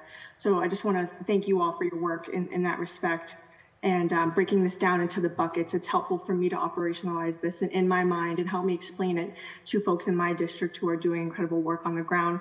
Like Tree Eastie, I think we have Bill Masterson on the line. He's the master of all things trees, is, is what I say. So happy for, um, or proud that he's on the call and, and proud of his work. But I think for my, so I have two questions, and it first relates to that, that first bucket, which was street trees. And so I have heard from some of these volunteer organizations that there is a real need to expedite the process of approvals um, for permits through the city that have included and, and, should include, of course, public works, disabilities. I think that you had mentioned Boston Water and Sewer Chief. It was mentioned that they should be a part of this conversation, which I support maybe for, for the working session through the chair to to the co-sponsors but has there been or is there any appetite or have there been any conversations to maybe create a, a one-stop shop application or a city working group to help expedite tree plantings done by these incredible volunteers and, and nonprofit organizations. So if you can just elaborate on that, I, I would appreciate it. Yeah, so I think in terms of street trees, we are not actually suggesting that they be that they that be done by nonprofits. Um, because street trees ends up issue having issues in terms of water infrastructure, uh, utility infrastructure, all of those things that um, it just wouldn't make sense to have a nonprofit jackhammering a new tree pit and those pieces of things. So we we do believe that it can go better and faster and that we can do better we can improve communication but for street trees those will need to remain with the parks department um, and what we are trying to do is potentially expand what, what our language is, is to expand that we're not just paying attention to street trees, but we're tra- paying attention to all trees that are in the public domain. Uh, but it, you know, BPS would not want a nonprofit group coming in just sort of like planting trees. That we need to have some internal processes for that. Um, but the fact that we're going to have three new arborists is going to make a huge difference because right now Max has to go out and, and inspect all of these pieces, and and sometimes the drag is we just didn't have enough staff to keep up with people's demand, and we are going to have so we'll just going to be in such a better place in terms of our ability to move those requests quickly. Uh, what we do want people's help on is planting on in people's backyards to really be looking at planting even on some of our colleges and universities, which are private land, but could potentially have more robust canopy that was serving our communities. Also, lots of local nonprofits will own spaces that they could be thinking about um, planting trees there. So there, where we where we need the help is really on the um, ways that people on private land are choosing to keep trees and they're not trees, and you know, and need help with maintenance. We can we're trying to figure out all those pieces. But the street trees would remain with us, and the expansion of our of our staff will allow us to address those those needs so much faster than we've been able to in the past.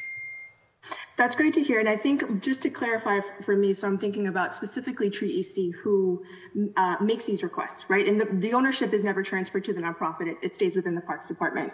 But it's it's their work, and it's them pushing to to make sure that we have an expansion of our public trees. Is what has expanded a lot of the tree canopy in, in Eagle Hill, say for example, in, in my neighborhood. And so their their concerns have been, um, and I'm not going to speak for just them, it's, it's been other folks, but just trying to get a, a, tree street planted has been onerous through the permitting process in addition to the staffing capacity needs. And so that's where the, the line of my, of my question yeah, and, came from. And I think the main problem there has been if one person has to go out and verify all of those things instead of four people having the opportunity to do that, it just means it's only going to move at the pace what we can do. We also have had some places where um, as an example, I'll use the tree in front of my house. Um, it was starting to have some health issues. I called, but then they were going to take it down. I was like, I don't want you to take it down. But in the end, what I found out was that, and it's true, I was getting tree roots in my front yard, and it was pushing up um, our sidewalk in such a way that uh, people with any level of mobility challenges and, and couldn't get by. So a new tree pit had to be dug. And that the, the creation of the, the moving of that new tree pit really is a conversation between us and public works and we need to mm-hmm. do a better job in that conversation. But i think that's part of the reason that we're saying in this next working session we'd like to bring our sister agencies in because some of the work that we need to do we also need their partnership with and we need to create better processes. And we are improving our own internal com- communication because now we have more people for them to talk to which is super helpful. Um, but we also um, need to come to agreement. And we would love for I am aware of the efforts of Tree Eastie. Um, there's also Ellis Memorial has done some similar things in the South End. Folks who go out and really um, give us that data. We need that. Um, mm. Yeah, we have more team, we have more staff, but nobody's going to know that neighborhood like the people that live there. Um, and so we are really appreciate when people take the time. We've been able to, you know, sort of be transparent. This is the kind of pit we need, and we want to increase that awareness because sometimes people will ask for a tree and a place that we can't actually plant because it doesn't meet our requirements. But if we can do a better job of saying these are what the exact requirements are, and we have that with some groups like Tree East, like Ellsworth, where they know what the requirements are, and so then they're able to make that request. Um, if we we want to do a better job, um, and this will be the kind of thing that you know Todd begins to work on as we're doing some of that community engagement. How do we arm people with information so they know? Oh, okay. Now that I know what a tree pit needs, I can make better suggestions about where it might be or not be in our neighborhood. Because sometimes what people do is they ask and then it doesn't meet the requirements. And then we have to tell them no. And maybe if they knew just a little bit more, they would have asked a block over or across mm-hmm. the street. And that would have helped us to, to move those more quickly. Well, thank you. And I do appreciate the fact that there's already been conversations with Public Works to just try to streamline, streamline that communication and, and, and get that message out there. So thank you. Um, my, my second and, and final question is within that third bucket that you mentioned, Chief, of trees being on private land that's uh, being built for the first time or being redeveloped. We've had many development proposals that have come before the community that range from smaller renovation projects going through the ZBA on, on Thursday mornings to the mid-range, which is Tuesday ZBA mornings, and then through small and, and large project Article 80 review. And so I see all of those instances as checkpoints and levers for negotiation and ensuring the community gets what it deserves in terms of mitigation and protections, um, you know, in addition to the expansion of our tree canopy.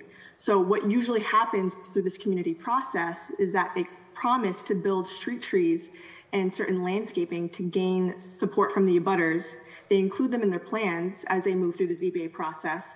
They get their variance with approval um, or uh, uh, with design review uh, proviso, with the street trees a part of the plan, and then through the process, they move forward and somehow their final design, they don't have street trees in the plans that have been approved. And so this is a loophole that I'm just saying to everybody that we need to figure out and somehow and somehow codify into whatever ordinance we're pushing forth, or maybe even through the rezoning of, of East Boston um, and Charlestown. But I think that there should be a way in which, and maybe it's through this notification um, system or, excuse me, the, the GIS tracking system, that we are able to track some of these trees that are proposed and promised and then just making sure at the end of this BPDA design review, they are actually included. And it, again, it ranges from small project all the way up to Article 80 review. So one quick suggestion I would add, because I've actually experienced that too. A lot of times proponents are actually just putting out drawings. They aren't even actually making a commitment. So one thing I would say is, um, and we sometimes people have to come before the Parks Commission, so we have the opportunity to do that. It helps, of course, that Liza's sitting on there, who's a landscape architect and knows how these processes work. But to to even ask the question, let me clarify: Are the trees that I see in this in this drawing part of your um, final proposal? Because I will actually tell you, in at least half of the cases, the answer is no. That's just a drawing that somebody made up.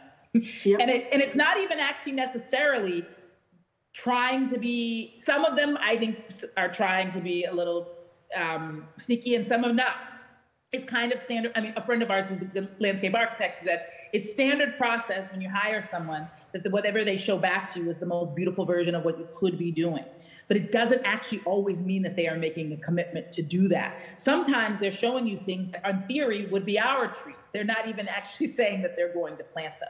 So I do think it's worth in the short term, while we also do the work to figure this out, to make sure that when folks are there, they just ask the question, how many trees are being taken down and how many trees are you proposing to, to replant?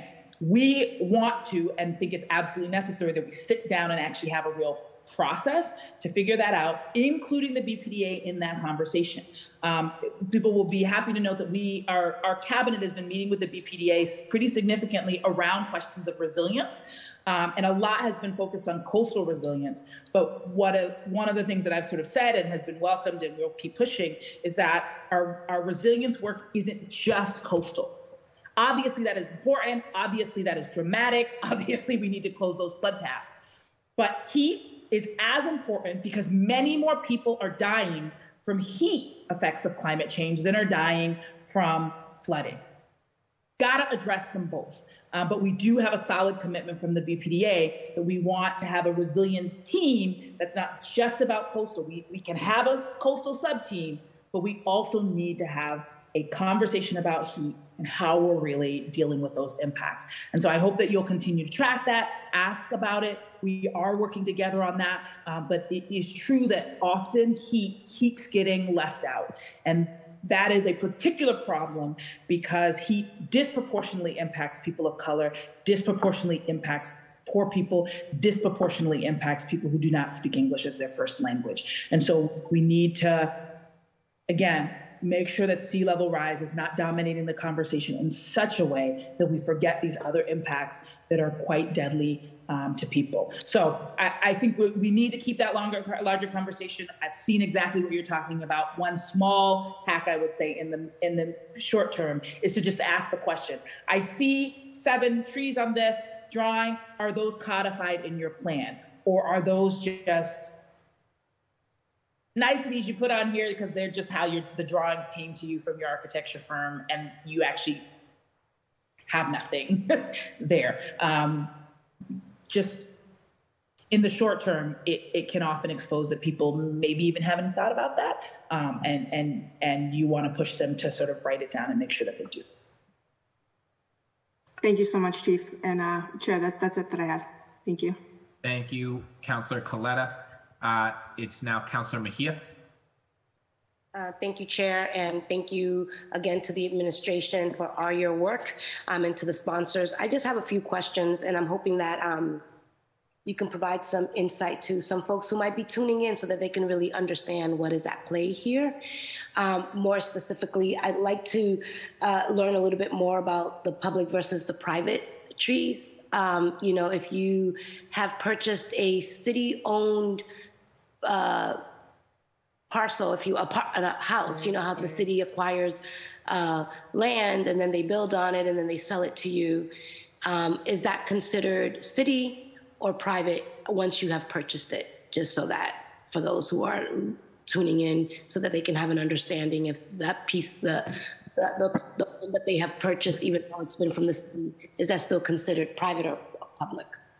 Private. If you if you own the home, if you have a deed to the home, once you it's in your hands, it is a private uh, uh, ownership. The only um, residential land that would be impacted by what we're proposing around private, I mean around public land, would be BHA, because um, Boston Housing Authority is is you know it's it's a quasi obviously it's also a partnership with the federal government so that's but we have we have proposed that they be included in the conversation around public land. Okay, great. Thank you for that clarification. And then my second question is, and I'm just curious as, as, to whether or not this exists or this would be part of the work that will be done as a result of once this gets passed, is a database of every single tree that exists in the city of Boston and who owns it. Is there such a thing already?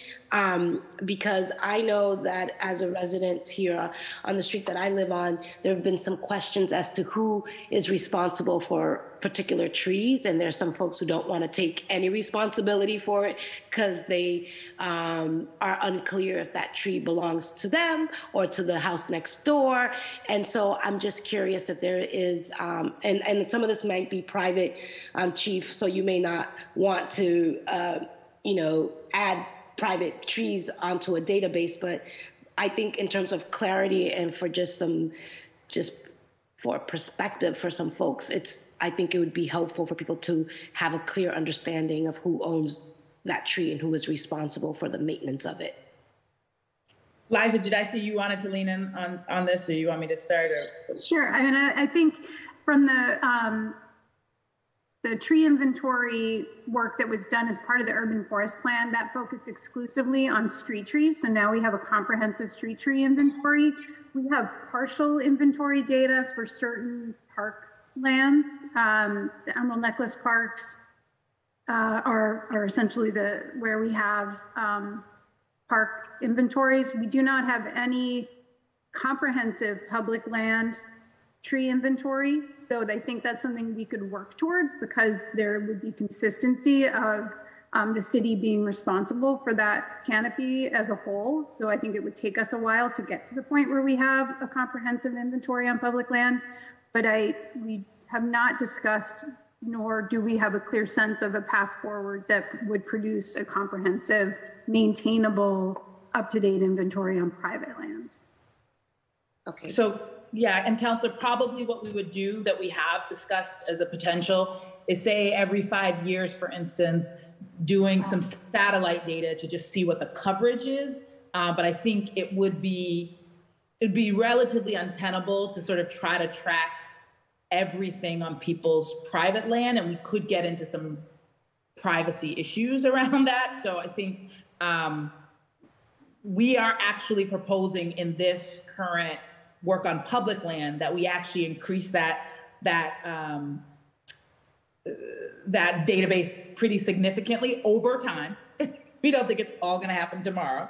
Um, by taking into account not just street trees, but all park trees and trees in the public right of way. So that's BHA and BPF, like a lot of folks. It's a pretty, it's not insignificant to actually grow in that direction. Um, but I think the other thing I would note is if a tree is on your property, you are responsible for it. Yes. So if it's on your front yard, if it's planted in your front yard, even if the, you know, the uh, the branches may go over the sidewalk, if it's on your property, you are responsible for it.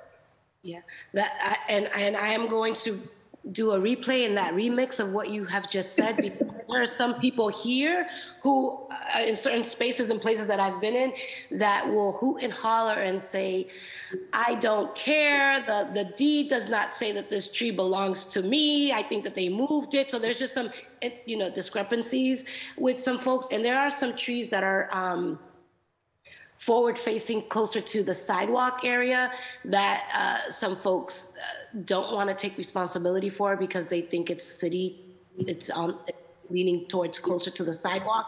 So they think it's the city. So I'm, I, th- that's the reason why I'm asking the question around just helping people understand what their responsibility is. And the more uh, data that we have and, and, and facts that we can share with people, the more apt they might be willing to want to take care of that tree. Um, and, and then I have one last question in regards to, I, I believe that, uh, that the ordinance states that, you know, permission would need to be granted to remove trees. Um, and this is just for public trees, correct? Not privately owned trees? Or yes, that's that's what we are suggesting should be discussed in this first chunk of the ordinance. What we're ultimately saying is all of them should be discussed. Yeah. It's just a little bit um, challenging to have a conversation about so many different circumstances when they're all slightly different. Um, so I just want to be clear. Right now, we're proposing for conversations on trees in uh, on public land but we're still going to get down to this conversation about trees on private land, individually owned, sort of res, small residential, and then another one for private land, larger developments. Yeah, I love that. And I just want to offer as we uh, move towards that direction in terms of just from a community engagement um, and outreach uh, space is that if we could start those conversations where we're meeting with people um, and helping them understand and just kind of bringing them into the conversation so that once we get to writing it up that they have been part of the process from the get-go because there is a lot a lot of education that needs to happen here for people so that they don't think that these things are being done to them without them. So i just want to offer that um, you know you could lean on my office for any type of support in terms of just engagement because i think that this is something that is critically important because so many of our people are impacted, but they just don't see that impact. And I think if we can engage them and educate them and bring them along, they won't feel uh, blindsided when it's time to uh, make these hard decisions for some folks. We completely agree, Councilor. And, and to the point that you were making earlier, we also think that sometimes people don't realize the kind of amazing work that trees are doing for them and so, you know, as an example, I had a neighbor cut down a tree and then buy one of those um, uh, shade tents for their backyard. And, you know, I get it, but that tree could have been your natural shade tent. Like just wanting to ha- have more conversations with folks about all the things that trees are doing. Um, to, to benefit them. But I, I, I completely agree. It's part of the reason we're suggesting breaking this up because some of the things like on the public land, we can actually have a conversation and that won't have a ton of impact on people and we can move those things forward and get the things we need to keep that moving. But these conversations about what happens in individual trees in people's backyards and in neighborhoods we agree much more engagement is needed to move that conversation away um, I I would not like to see this ha- go in the direction that, for instance, bike paths have. Um, mm-hmm. I remember before bike paths, or to be honest with you, dog parks, they have become, let's be honest, racialized, classized. The conversation gets really problematic. And if we try to move this too quickly without um, the right conversations and the right level of engagement, I fear that trees will end up in that same place. So I we completely agree that we need to to do the things that can move quickly well. Definitely agree with it. Don't want to slow those things down, but we do need to slow down and do more engagement, particularly around the conversation on private land.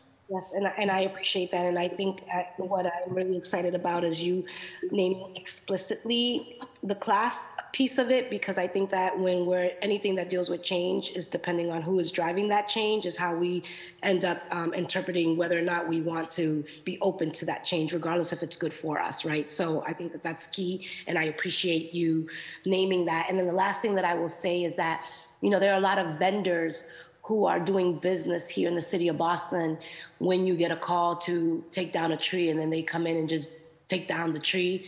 I think that there is an opportunity to even have uh, calling those folks in as well as part of this uh, education exercise that we're about to go on, uh, because they they'll make three thousand dollars taking down a tree and not think twice about it, and and it, it does cost a lot to take down a tree. So uh, there's a lot of biz- a lot of money that's being made um, in that space, and I think that there's an opportunity, um, even as you continue to, you know, think through your outreach and engagement plan. How do we call some of these folks in and hold them a little bit more accountable and responsible to the tree canopy um, conversation as well? And that's all for my questions. And thank you, Chair, and thank you to the sponsors and to the administration for your thoughtful um, leadership in this space. That's all for me. Thank you, Councillor uh, Mejia. Uh, we're going to go to Tania, uh, Councillor Fernandes Anderson, and then um, I will I will then ask my questions, and then we can do a second round for folks who still have questions uh, for folks. Uh, thank you, Chair. Uh, good afternoon, everyone. Um, Chief, I wonder if you could give me, um, if you're able to populate the priority zones in an outline so that, um, to Councilor Louijeune's point of disaggregating data just um, building out the list of maybe I don't know if it's if we do it by neighborhood or if we do it by block. um, but I think that gives people a real context. So when you're starting in certain areas, um, folks will see it from a list from one to from A to Z or from one to a hundred or whatever. Um, does that make sense? Yeah, and we we can do that. I I, I think Liza is actually trying to pull up some of the data uh, right now, but um, what I can say is.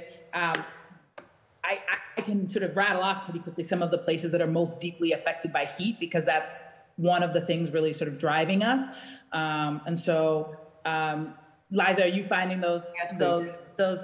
Uh, we're trying to see if we can get them up quickly. Um, East Boston, clearly um, actually pretty much most of the entire neighborhood. Um, we also know that Chinatown is one of the places most impacted. Nubian Square also has some challenges around heat. Grove Hall, thank God for uh, Franklin Park though. Grove Hall, a lot of its heat is attenuated by being so close to um, to Franklin Park, but um, Nubian Square does not have those same advantages. Um, Liza, my, I, Mattapan Square has some, but not as uh, bad, but it has some. Um, it's it's it is uh, mitigated a bit by having quite a few green zones around it. From my um, and then there's parts of Dorchester, actually parts some of the parts that I live in, um, over to uh, here we go. Yeah, I was looking at this, um, but this doesn't actually do it justice for the public. Um, You're saying you want you want um, it to be sort of the the areas to be named Yeah, so I know that Lower Roxbury happens to be number two on suffering from heat islands in Mhm. Boston. Um, yet I wouldn't I wouldn't know that if I was just looking at the website. I wouldn't know that by looking at this map because I could see okay, well here's District Seven in the middle somewhere. Yep. Um, and then I, I and then I look at it and I say, oh well, they, I know that that's Franklin Park. That big green is Franklin Park. Um, Would it help, Councilor Fernandes, if, we could put this on top of a map that just has the neighborhood names and lines? Because it's, would that, would that improve it at all? Yeah, that would. And then what would be really, really helpful for the conversation about prioritizing um, by equity, um, equity first, then a, a list number one to number, or ca- maybe it's fa- maybe it's categories as you would have it here. So the priority zones where it's black, the color is black, and then the, in that block you have like East Boston, Chinatown, Lower Roxbury, and then you go to phase two or the second priority um, areas, and then you're listing those neighborhoods, and then I think that is a more clear conversation as to what is where is priority. Okay. Build on We can, those. we can probably try to name some of them where you see where it says number four overlapping. Some of those actually have real names to them. But I think what we could do is both, both give this so that people can see, because sometimes there are priority zones in a neighborhood, but it's a small area.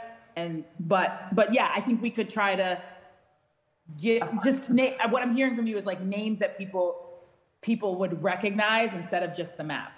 Right. And, Okay. and and I like your idea with the map and actually putting the names, but again, that's a search. That's a that's that's some homework. People have to go through and zoom in and look at things. But a list is more clear. Okay. Um, Well, we, we can do that and, and lead people here, I think, because some of, some of the zones like don't, don't evenly Understood. map Overlapping. place. But We can, I think we can say to people, we'll do, here are some recognizable names. And for more detail, we encourage you to look at the map. And then that way we didn't throw out places that might not have a, an Yeah. easy name, but we've also given people some more clarity. Yeah, We could- sounds good. Yeah, it sounds good. Um, it's it sounds like you know your office, you, your office, uh, your leadership, and CAB has done very thoughtful, very thorough work here. You can tell that it's taken an extensive um, work and, and thoughtfulness to put this together in terms of um, prioritizing equity and in just the way you've explained um, in response to Council Coletta's questions in terms of your approach to prioritizing the people in the neighborhoods in terms of community engagement as well. So I just wanted to point out that I appreciate that. I wonder if um, you can, so thank you for uh, for agreeing to question one. Um, I wonder if you could submit a list of the cab members and the neighborhood that they uh, live in. You're muted. We have the, Yes, the cab can- members go ahead. are in the urban forest plan document, all who were comfortable being recognized. You know, we asked if people were comfortable with having their name published, and so everyone who was um, is published in the plan, and we can um, provide a link um, after this. If they're not, should we not, um, hi Liza, should we not make this transparent? Why would it be private to not, to not know who they are? So we I just wasn't asked people if they were comfortable with being in a public doc, having their name in a public document, and a couple people said no. I see. And I and I know that, for instance, there is somebody at my congregation, for instance, who's a survivor of domestic violence, um, who does not participate in Facebook or anything like that, bec- it, just because she does, even though it's been years, still does not feel comfortable and doesn't want to be found. So there's we do we try to honor people if they don't if they That's want to keep it private. It's not the majority of people. It's not the majority of people. It's like two, right, Liza? Yeah, sure. So- That's totally Yeah, so- understandable. Um, circumstances, sure, for privacy. Can we just um, list them by demographics and neighborhood if that's the case? Okay, maybe we could, yeah, we could do, yes, we could, we could send that. We didn't put them in the urban forest plan, but we could, if there, I think there were two. I think Thank it you. was, okay.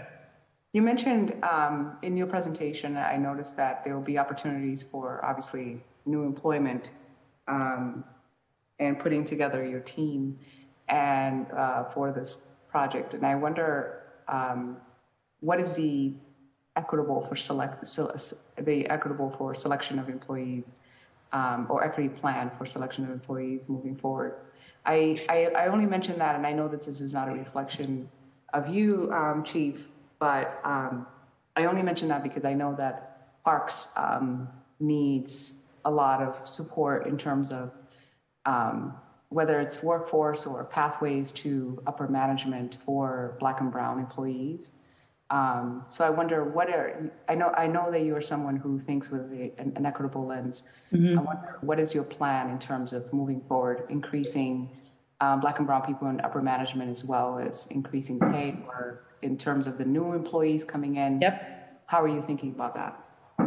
Great. Yeah, I'm glad you asked because we actually did look at this. So a couple of things, as you as you've already noted, and it's just true. Uh, urban forestry is an overwhelmingly white and male uh, profession. That's just true.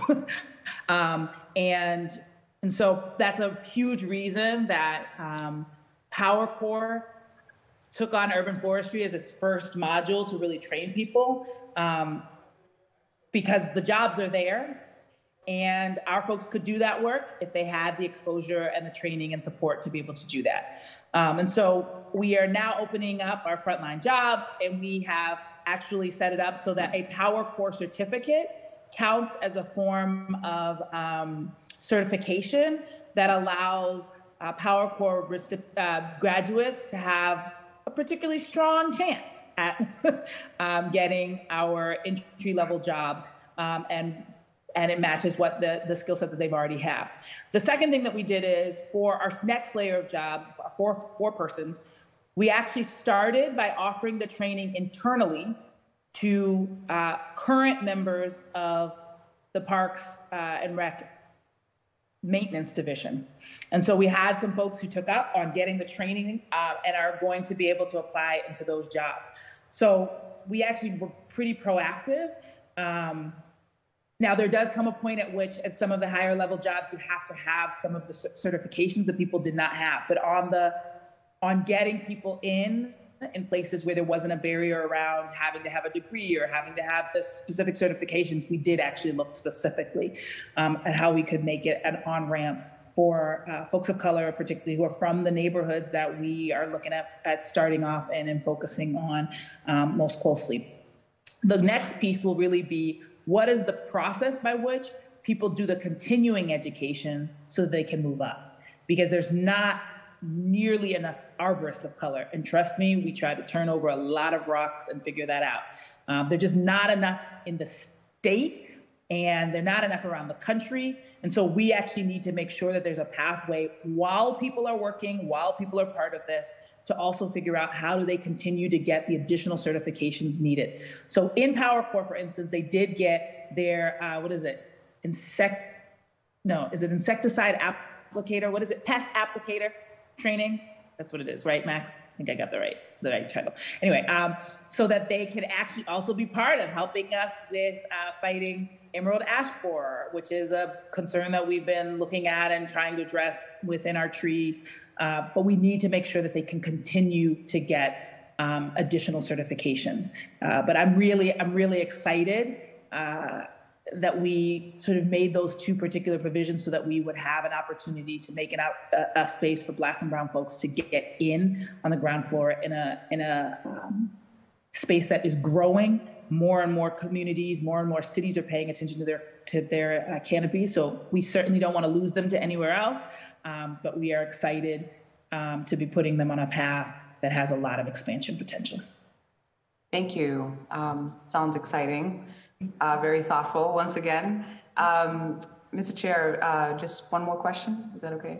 Yep, that's fine. Thank you.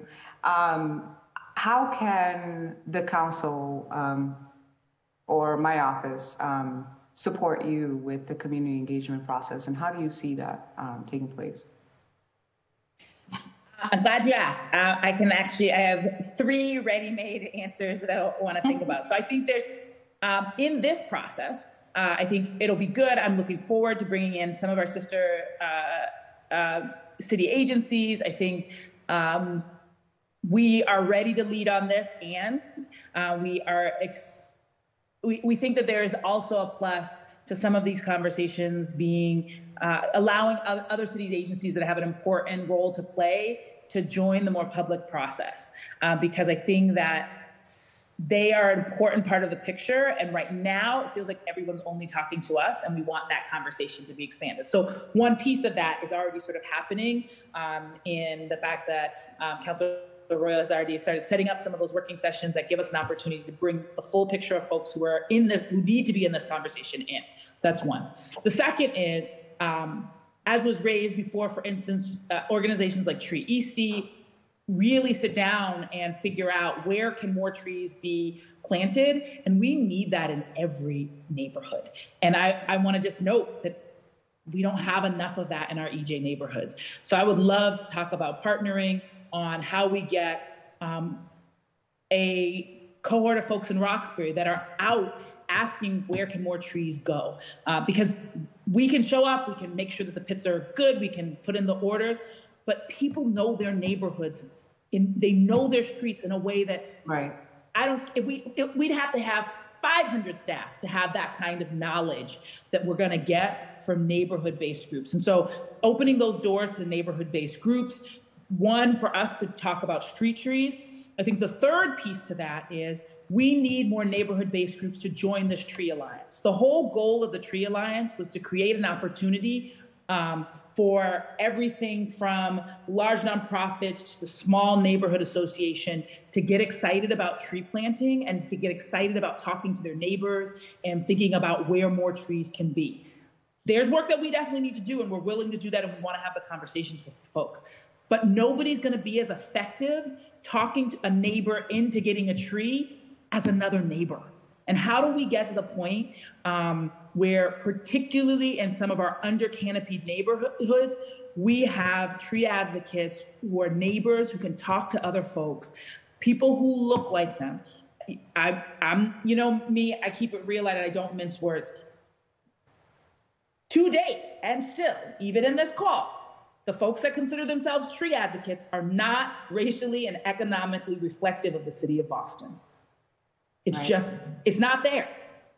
Well, but I'm... the benefits and the burdens of our of the benefits of our tree canopy should be coming to our communities, and the burden of not having a tree canopy is is impacting a lot of folks who are not at the table. So, in so much as you, I know you um, convene those D, D7 roundtables, like we'll come out. We would love to talk to people. We'd love to figure out how people can be part of this. Uh, because as I said, with the bike conversations, with the dog park conversations, I, I it will break my heart if trees start moving in that direction, where right. we're not even actually talking about the merits of them anymore. They're just becoming a battle between different racial, economic groups within the city of Boston. That I, I cannot see it go that way. That's absolutely, and you, I think, and multiple different councilors, I would love, please bring us out to those neighborhood groups. Um, I, I don't. I well, hate I'm glad to, to hear you. I'm glad to hear you uh, say that you are so open to our en- environmental anti-displacement project. Um, we have a committee, a subcommittee that's working on this, and we'd love to partner with you. And I look forward to the work. Love to be. Thank you. Thank you, Councilor. Uh, so I'm gonna ask my questions, and we can do a second round uh, for folks that are still here. If you have a second round, uh, just raise your hand, uh, and I will go to you, and then we will go to community comment. Um, so, quick question related to tree removal uh, that's happened in the last like two two to three years. Um, a number of our street trees were unhealthy, uh, and there was a lot of removal. So I, I represent uh, District 5, that's Hyde Park, Roslindale, Mattapan. And so in Hyde Park and Roslindale, it was like noticeable removal. In some streets, it was the entire street of street trees you would see just go away. Uh, and in that time, we have not seen replacement trees at, at the same pace. Uh, and so, is there a like a tally on how many street trees we lost as a city? Because I know there was a disease and trees were diseased and there was other issues at, at play. Um, no trees that weren't supposed to be removed were removed. I guess the question is, how many trees were removed and how many have been replaced of those removed? So I, I think Max, it might make sense for you to talk about that because I think it's both disease and and you know a number of different things. But the other thing is that um, we've also improved how we're what we're deciding is a good place to put a tree pit in an attempt not to have to do this again um, in the near future. So that I'll pass it over to Max to talk a little bit more about that. Yeah, so I would first say I would I would love to know which street it is, particularly because I can't think of one where we've removed an entire uh, street of trees. Um, second, I would say that every tree that we do remove, um, there's a reason behind it, whether it's disease, insect, or it's a hazard. Um, second or third, uh, every tree that we inspect for removal is inspected by two arborists well, you know, first there's a, the initial inspection that is done by the staff arborists that work for me, and second by myself. I'm the final determiner of, of what tree is removed in the city based on the state law. Um, so there's always at least two eyes that, that are looking at the trees that are removed, and then every tree that is removed in the city goes automatically back on our replant list. So if a street tree is removed, we automatically look to see if it's a replacement. Unfortunately, because of all of the requirements that we have to follow or fortunately for all the requirements we have to follow for ADA compliance, uh, proximity to intersections, curb cuts, uh, proximities to people's front doorways, uh, fire hydrants, um, stop signs, uh, overhead lamps, street lights, uh, signal lights, there, you know, underground utilities. Anytime that there's a gas line underground, electrical line underground, a water line underground, we have to have a certain amount of distance away from those utilities. So it is very difficult for us to replace a lot of these trees. Um, so we're up against a lot of different uh, uh, aspects, whether they are underground or above ground um, that we have to look at where, you know, 20, 30 years ago, we used to just plop a tree in the ground, right? And that's why we got to this point where, you know, a tree doesn't last for seven years. In seven years, that tree dies, right? Because we never thought about those things that were really going to impact the tree.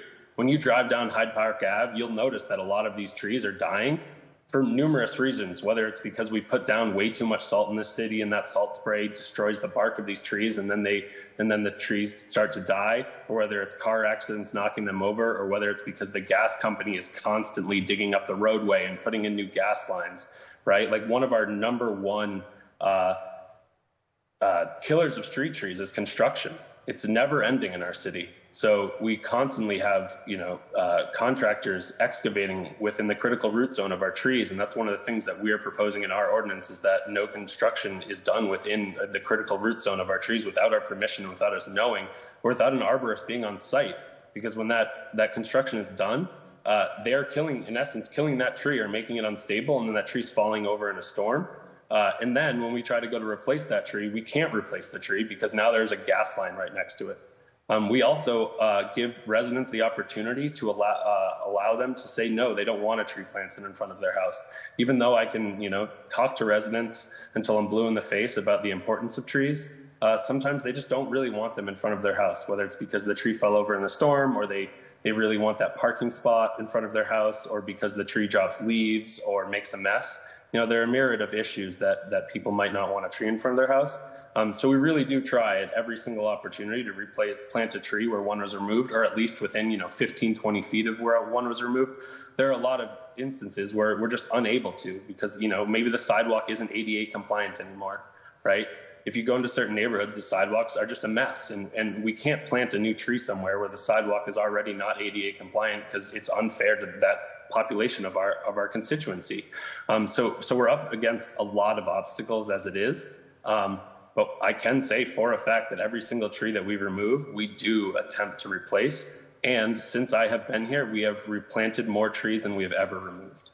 Whether that means, you know, that we have lost trees in storms or we've systematically removed them, we have always planted more trees than we have removed.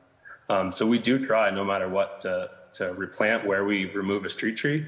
Um, but we are up against a lot of obstacles, and a lot of them are utilities. Uh, a lot of them are, you know, uh, homeowners themselves who might not want them.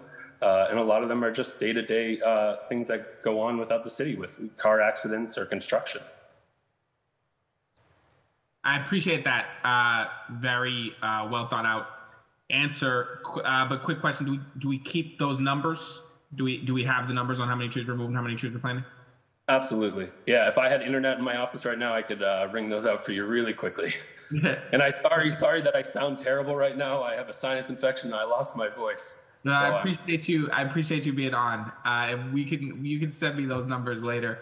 Uh, the reason I bring it up is this. Uh, so, for instance, on my street, on Faraday Street, maybe about 80% of the trees were taken down. But at this point, um, I think a vast majority of them have been replanted, which has actually been really great. So, like in the last year, I think they did the whole stretch within the last year.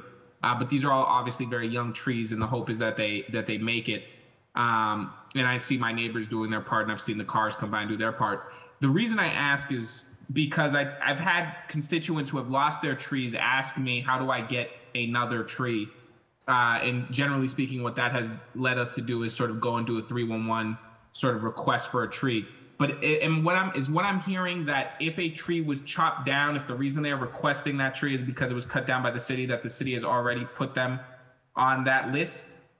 Yeah. So yeah. So if we remove a tree for any reason, it automatically goes in for replanting. And then some constituents do uh, make a request on their own um, for the tree to be replanted on top of our systematic automatic replanting. Uh, and some residents, you know, if there's not a tree in front of their house, uh, they make a request to have a tree planted. And those are the requests I need the most, right? If we're going to increase the canopy in our city, I need the residents who don't have the tree in front of their house to make those 311 requests um, because those are the only ways that we're going to cut new tree pits and, and increase our canopy. So those are the those are the constituents that I'm looking for the most. The ones who don't have trees planted in front of their sidewalks right now. Which is great because what I see all the time is places where we could put trees on sidewalks. Now, but bearing the fact that I don't know what you just brought up, which is where those underground pipes are and things like that. So those might be getting in the way. But I think one of the, the whole sort of place I'm trying to go with this is we do mailings to residents from the city of Boston for things like winter resources or winter guides. Have we done and are we open to doing a mailing on this is how you request a tree for your home? These are the care and maintenance tips so that they can survive and just send that out into the city so that we actually have places that because I think a vast number of individuals in the city would say, "Oh, wow, a tree! Yeah, I got to do this, and I can get a tree." But I think that that's I, I just think that's a good idea if we haven't done that yet, or if we haven't done a mailing of that sort to the city. We do it for winter uh, resource guides, we do it for all kinds of different things where we send out a citywide mailer for those sort of resources. We should probably do one that's tree and nature focused at some point, just about ways to maintain and, and preserve trees, uh, but also ways to request trees, especially if we're trying to get new requests in because I, I, that's not a natural process. I don't think most people even know. I think they just think the city comes and brings them, right? Like the city's either going to come and bring it or not, and I either win that lottery or I don't. I don't think that there's an understanding from most individuals in the city that you can literally put in a request for a tree. Um, and so it would make sense to me if we did one of those mailings uh, to the city. I don't know if we've ever done one or if there's one scheduled or if that's something that you guys would be open to. I personally would be very open to it. Anytime I talk to ONS staff or staff from City Council office, I always try to promote talking to residents about promoting, um, you know, the 311 or just going to the Parks Department's website where it literally details, you know, all the ways you can care for a street tree and uh, the ways, you know, you can care for a young tree. Also, every new tree we plant, we leave a, a leave behind on the tree itself onto the stake that says how you can aim the tree and water the tree. Um, you know, not sometimes they get ripped off the tree itself, but uh, you know, it's a helpful uh, uh, leave behind that tells you exactly what you can do for the first two years of maintaining that tree. Um, but yeah, I'm totally for that. Any the more requests we can get for planting uh, new trees, uh, the better. You know, and especially if you can leave your contact information with 311. Uh, anonymous requests don't get an email response when you close out your 311 request, right? Because I spend a lot of time closing out cases with very detailed responses. I don't close a case and just say noted, we're not going to do something here. I tell you exactly why we're not going to do something here or exactly why we can't plant a tree here. Uh, but if you don't leave your email address, uh, then you're not going to get that through in one case closure note. Um, so that's just a very important thing for constituents to know that if you leave your email address and contact information, you're going to get a, an actual response from a person in our division. Thank you for that. That's that's very helpful. And so I'm going to personally pursue with the administration. I'm going to be a nuisance and try to get that mailer sent out so we get that done. Uh, so that's that's a thing that I'm going to be trying to do. Uh, just because I think there's there's low hanging fruit on the the sort of right of ways and street sort of trees. Uh, and I think there's a lot of folks that would would actually, if you gave them that kind of a flyer or that kind of a, a postcard or mailing, would be helpful to them to sort of know, hey, we could do that. Um, and so yeah, I'll do I would that. Say, I would say in Hyde Park alone, you have a lot of grass planting strips that don't have trees in it. And when I Oh, drive by, drives me nuts. Drives me nuts. I see them all the time, and I'm just like, I wish. I'm glad that the the ones that have been cut are on a replacement list because in some cases they're cut. So on Hyde Park is luckily one of the ones with more tree canopy for the city. Uh, we're blessed in that, and so some of the trees that were cut are very old trees. We're talking about large calipers, and they're not they're not strategically placed in such a way where they're necessarily directly in front of one home or directly in front of another home. And so those trees that sort of are in strips where they never truly belong to any one house. I always wondered, do I got to put in a request for that? Does that person have to come and put a request for that? I'm ha- I'm grateful to hear that we have an automatic. If the tree was cut, we're we're looking to put that in because we have a lot of stumps in certain areas that are just sort of there, um, and so that's helpful for me to know uh, that that has happened. But I would love to see all of the sort of places where we have these strips for trees taken advantage of uh, in a real way. And so I think that's a good aspect. And it might be one of those things where maybe that list can even be tailored to areas where we know you could plant a tree, right? So we're not mailing downtown Boston if they don't have actual spaces to request a tree, right? Or we're not, you know, that we're being targeted in how we do that so that we can actually get into neighborhoods that can actually take it. Um, yeah, that was uh, one of the parts of the urban forest master plan. Was part of the mapping was to find sidewalks that were wide enough uh, and already our specifications for planting, because you know there are parts of the city uh, that are not compliant for planting the sidewalks, don't meet the minimum width for ADA compliance to install the tree pit. Um, so yeah, we that is data that we do have, and um, that's something we could all work together uh, towards a goal of uh, yeah, treeing those streets. Yeah, so that's that's going to be a thing I'm just going to take on. We'll figure that out, and I'll I'll bother the appropriate people in the city to to get that funded and done. Um, a secondary question about the or, the ordinance that we're doing right now, and I just want to make sure public's aware. This isn't a situation where we're going to do one working session or one hearing and move. There's there's a lot of pieces to this, and so uh, I believe what I'm hearing, uh, Chief Reverend, is that if we can sort of set up, uh, and I want to back to that other point that I think is incredibly important, making sure that multiple uh, communities and classes and folks of different racial and ethnic backgrounds are in these spaces. If we can create uh, working sessions that take into part sort of community advocacy groups, but also communities themselves uh, to the best of our ability. Can we get your participation in those as we set those up? When we set those up, is that something you'd be able to do? Yeah, yeah. And uh, what I'm part of what I'm suggesting is the first chunk we take the thing that probably people are the least interested in, um, which is the the pri- the public land piece, mm-hmm. uh, because a lot of that already a lot of that already exists. What we're trying to do with that is take the processes that we already have and strengthen them a bit. So as an example, like we have a tree warden, Max is our tree warden. We already have a we already have a process for reviewing things, all of those pieces. What we're at what we're suggesting is that we add into to um, our review process other pieces of public land that might not I mean, our team is here. We, we hire people who love trees. I mean, they're here because they want trees to survive. They know what they add. To.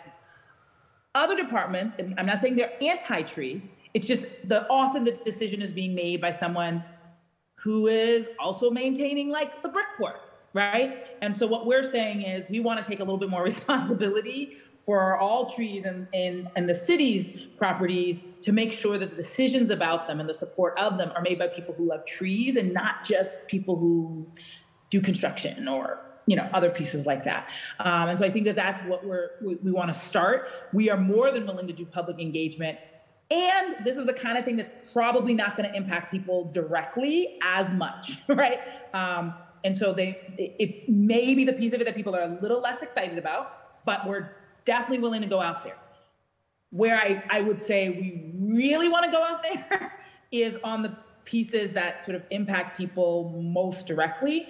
Um, and I would love to put together a, a engagement schedule around that, that that starts. I mean, we could either be we could even be moving this and start the conversation on the next. Oh, we layer. Yeah, Um, that's what I expect we'll do. that so that would yeah. So just to be clear for everybody listening, I think the public protections, beefing that up, making it so that it's working in a way that most prioritizes what makes it effective.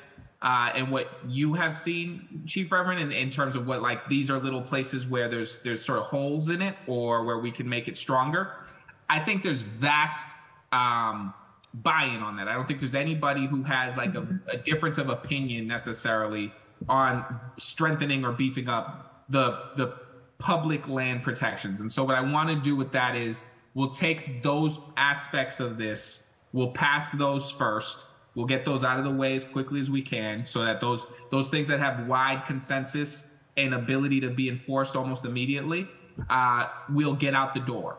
The second aspect of this is sort of you know, I made a joke when we were doing things like redistricting where I would say this is the hearing on this and this is the hearing on everything else, right? So like the the second one uh, is, is sort of moving the private land protections, and I want to be like clear that I see that as sort of, and I think you do as well, two different sorts of private land. There's people who own single family homes who have a tree in the backyard that they may want to remove that for whatever reason. And then there's developers who purchase plots of land and then just want to clear cut all of the trees on that land, right?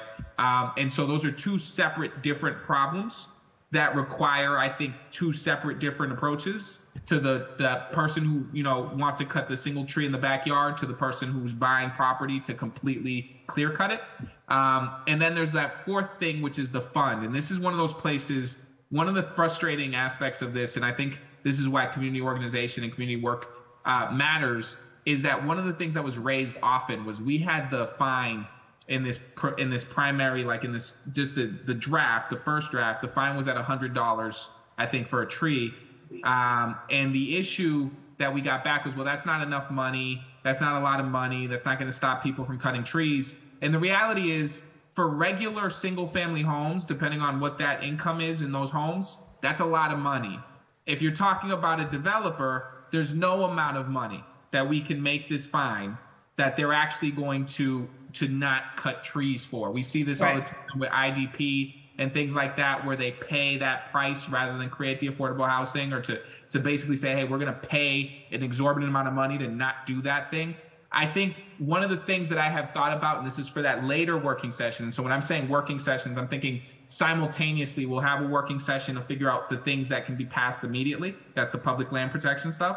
But we'll do other working sessions to get that second half done. And I think we can do those things simultaneously.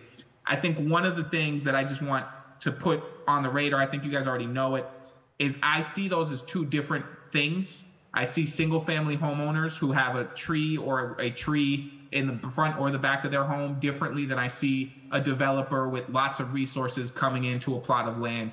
And so I think maybe trying to figure out ways in which we can structure a fine system that addresses those two different realities, whether it's it's by, you know, I think maybe not necessarily uh, I think that's the stuff that needs to get sort of worked out essentially. Yep. How do we how do we treat these two things as separate things within the ordinance? Um, because I don't think that the uh, fine that a developer can su- can support is different than the fine that a person who who has just bought a home or owns a home and is a senior or whatever is trying to take care of a tree in the backyard and it, they're having issues. Whatever that may be, those are two different costs and those Yep, are two yep. different problems and they should be treated that way. I think there's also sort of um, one of the things I'm cognizant of for folks who are wondering, like, well, what's the issue with this? I don't think anybody on this call doesn't believe that private trees need protection and that we should be creating policies to protect them. Uh, and so I don't, so just when people are writing or calling or talking to each other about this, it's not that the city or the councilors disagree that there needs to be protections for private trees. The issue that we come into is sort of practical enforcement issues, which is there's a lot of trees, there's a lot of homes. How do we make sure that we're policing that in terms of how they're being inspected, who's keeping up on that, what are the processes, who is in charge of those processes, knowing that we have manpower and just actual human capital cost to all of that that might exceed pretty far what we've done in the past. I mean, we are I'm grateful that we are hiring three arborists. When I first got here, I believe we had exactly one for the entire city. I believe that's where, and that was and just so people know, I'm not very old on the council. I got here in 2020. We had exactly one. So much so that Councillor Bok and myself, when we were pushing for another arborist, would joke to each other about, "Look, look, we're doubling the amount of arborists because you're you're literally just adding one additional arborist." And so to be where we are now in three years is is a mark of uh, good faith, I guess, by the city to show that this is a real issue that we want to address. But that also tells you the problem that we have in trying to enforce something that is citywide. And what I'm very cognizant of is not creating something that has very strong protections, but that everybody ignores, which we've done in the past with other things. For instance, I just put something forward on food waste. The state put something forward on food waste, and their food waste issue was just composting. And they had a horrible time trying to enforce that and get compliance. And so I'm I want to make sure that folks are cognizant as as one of the lead sponsors. My goal here is to create something that has teeth that has the ability to be enforced, that has the ability to be operationalized, not just to create something that says a lot of things that we want it to say, but that everybody at the table knows that we don't have the ability to actually implement at this time. And so the goal here is to take the things we can implement right now, take the harder things that involve private land, work on that throughout this year, pass that this year, that's passing this year, but making sure that we have a, a sort of on ramp to that where we're doing community process, where we're doing sort of what are ways in which we can creatively solve this problem and how do we do that uh, it, because there, there's so many aspects to that that are moving. And so from our community partners i'm grateful the way that y'all are tuned into it and the way that you've sent us edits. We will be tapping into that as we move forward. Uh, but I, I just want folks to understand that i know everybody on this call understands there's a public and there's a private aspect to this and most people want to see that private uh, enforcement more than they want to see that public enforcement aspect of this because there's already some public protections on the books and there's no private protections on the books. But that private one is the one where we really have to incubate it and make sure that we're doing it correctly. Um, and so that's not really a question as much as it's a statement. But uh, for uh, the chief or whoever it's most appropriate to answer this, you did send us a bunch of red lines uh, essentially to beef up the uh, public land protections. Can you just give us a sense of both what what's in there that the administration is saying, hey, these are things that we would love to see first. We know we can get this out the door. What are those things? How do they change uh, your abilities that you currently have right now or you don't have right now, or do they streamline or make them better? What are the ways in which the red lines that you presented for these changes, which we will go over in a working session, but sort of the general you don't have to go point by point, just the general over analysis of what are the things that we are getting uh, better at if we use sort of your suggestions and your edits for public land protection and any other aspect of it that we can get out in this first in this first wave. So I, will start from the big picture, and then other people are welcome to, to join in. So I think the first piece that we're really taking on is that currently um, as you noted, we had we used to have one two arborists. It was very um, hard to really cover a lot of the city, and so we really kept our purview to what we had the ability to actually oversee. Now what we're saying is that we again maintain control of street trees and and park trees, but we are also saying that we want to more explicitly partner with our sister agencies across the city to oversee other forms of trees that are on public land. Up until this point, if BPS handles their trees, that's their business. If um, BHA does something with trees, it's their like we are. What we're trying to do is say, actually, across the city, across the municipality, we want to take some level of responsibility for overseeing the fullness of the canopy um, across all the public land. Um, that's pretty huge uh, because that will also eventually allow us to, uh, the conversation we had earlier, which is that right now we only have good data for um, street trees. We are creating data for park trees, but there's lots of other kinds of trees that we have no data about. Um, and so this would mean we would actually do some work to actually pull together all that data so that we could track it. And then we are not saying that we would do all the work. So I'll give an example. BHA is about to do some sort of change. We would ask them, for instance, to hire an arborist and submit that paperwork to um, a tree warden so that we can see what's happening and we can pay attention to are we losing calipers, are we not? And then we can enter into a conversation with them that says, you're cutting down half these trees, we need you to replace them. What's the viability of doing that? What is your plan? So that we just are, we're managing the fullness of the of the canopy across all the public agencies. And we've begun those conversations with them, um, and we're already in conversation with them because sometimes they're doing things that you know impact the canopy, and so um, this gives us a better ground on which to hold the entire tree canopy um, together as one thing that we are um, managing across all those agencies. So that's one of the important pieces. I do also want to, I don't know if, oh, Max, you are still here. There were some specific things that you had um, around current processes where I think that you've done a, you were really clear about where some of those things were uh, lacking. Did you want to highlight a couple of those things that you added to the, to the uh, language? So, oh, another quick thing there was a whole bunch of language about the tree warden in the original. We are keeping that, but we just wanted to clarify because some of the original ordinance changed the ward, the tree warden structure that we actually use, and so we we want to keep the structure that we use because it's been codified and and practiced. But there's a couple things um, that uh, that were added. So passing this over to Max, who is our tree warden. Yeah. So as I talked about previously, um, you know, one of the main things is uh, the protection to the tree's root system, the critical root zone of a tree. Um, very important. And one of the reasons that we lose a lot of trees during storms is because trees, uh, their root system gets, uh, well, we'll call it destroyed by uh, development, construction, utilities, etc. Uh, so as part of our proposed ordinance, uh, we have discussed and proposed that uh, any work affecting the critical root zone would need approval by the city tree warden, sign off by the city tree warden, as well as uh, an arborist on site during said work uh, to make sure that the root system of our city owned trees, public shade trees, are not affected in a negative way that would cause them to be hazardous then to the public.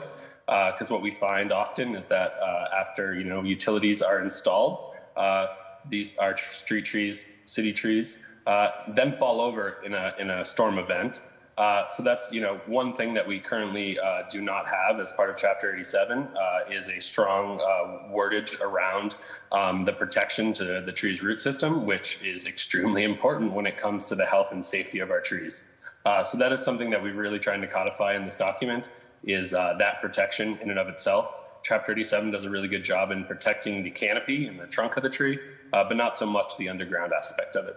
Um, so that's one of our, our main parts of it.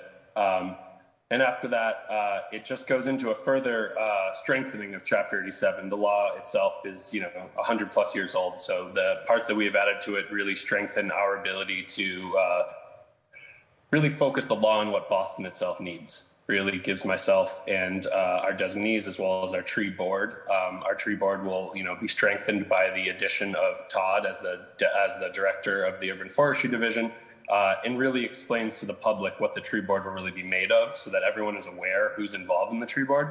Um, it also goes into the spe- specifics of uh, the qualifications of the tree warden. Um, it says, you know, specifically uh, that I have to be a certified arborist. It says that I have to be a tree risk assessment qualified arborist. Uh, it says that I have to have a Massachusetts pesticide license, all of which I have had for the 13 years that I've been working for the city of Boston. But now it's more of a uh, people can really know the qualifications that I have uh, and the reasons that I uh, am able to make these decisions about, you know, the hazardous and risk conditions of trees and what puts me uh, in the place that I am as the um, person in charge of all the trees throughout the city.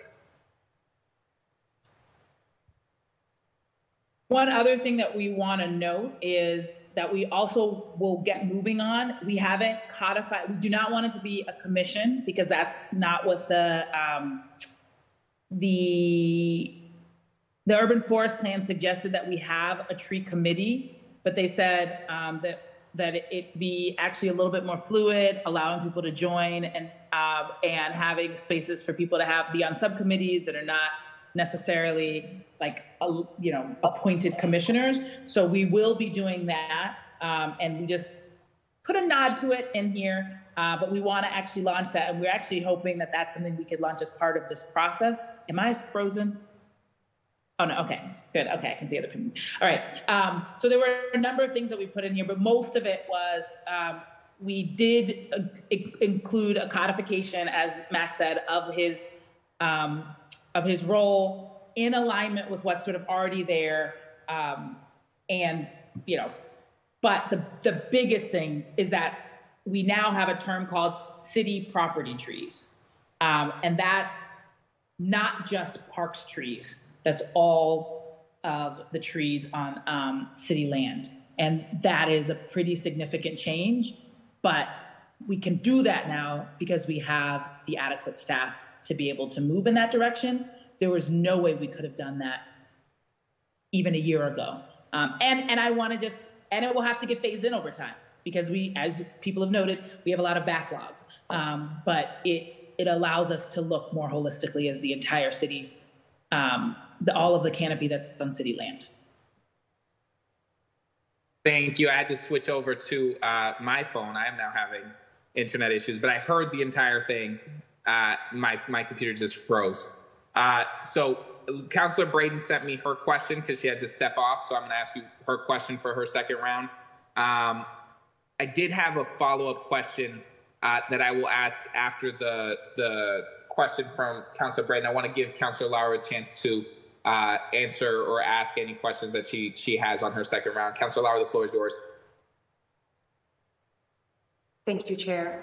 Um, so one, I just want to thank you for all of your work on this and thank Councillor Anderson and Councillor White-Hammond for their comments, um, particularly around how do we do environmental justice work with a racial equity lens. Um, as you know, the my constituents are really big proponents of trees and dog parks and and the such. And as um, somebody who grew up, whose first introduction to environmental justice came from a black organization and black elders doing organizing work at ACE and with REAP, uh, I also feel that tension um, and kind of like that yearning to want to make sure that this work does not move in that direction. Um, I feel like we've fought for a really long time as Black and Brown people to reclaim what is ours and what we've, you know, what's always been not only that, not only the things that we've been the most impacted by, but the work that we've been at the forefront of for so long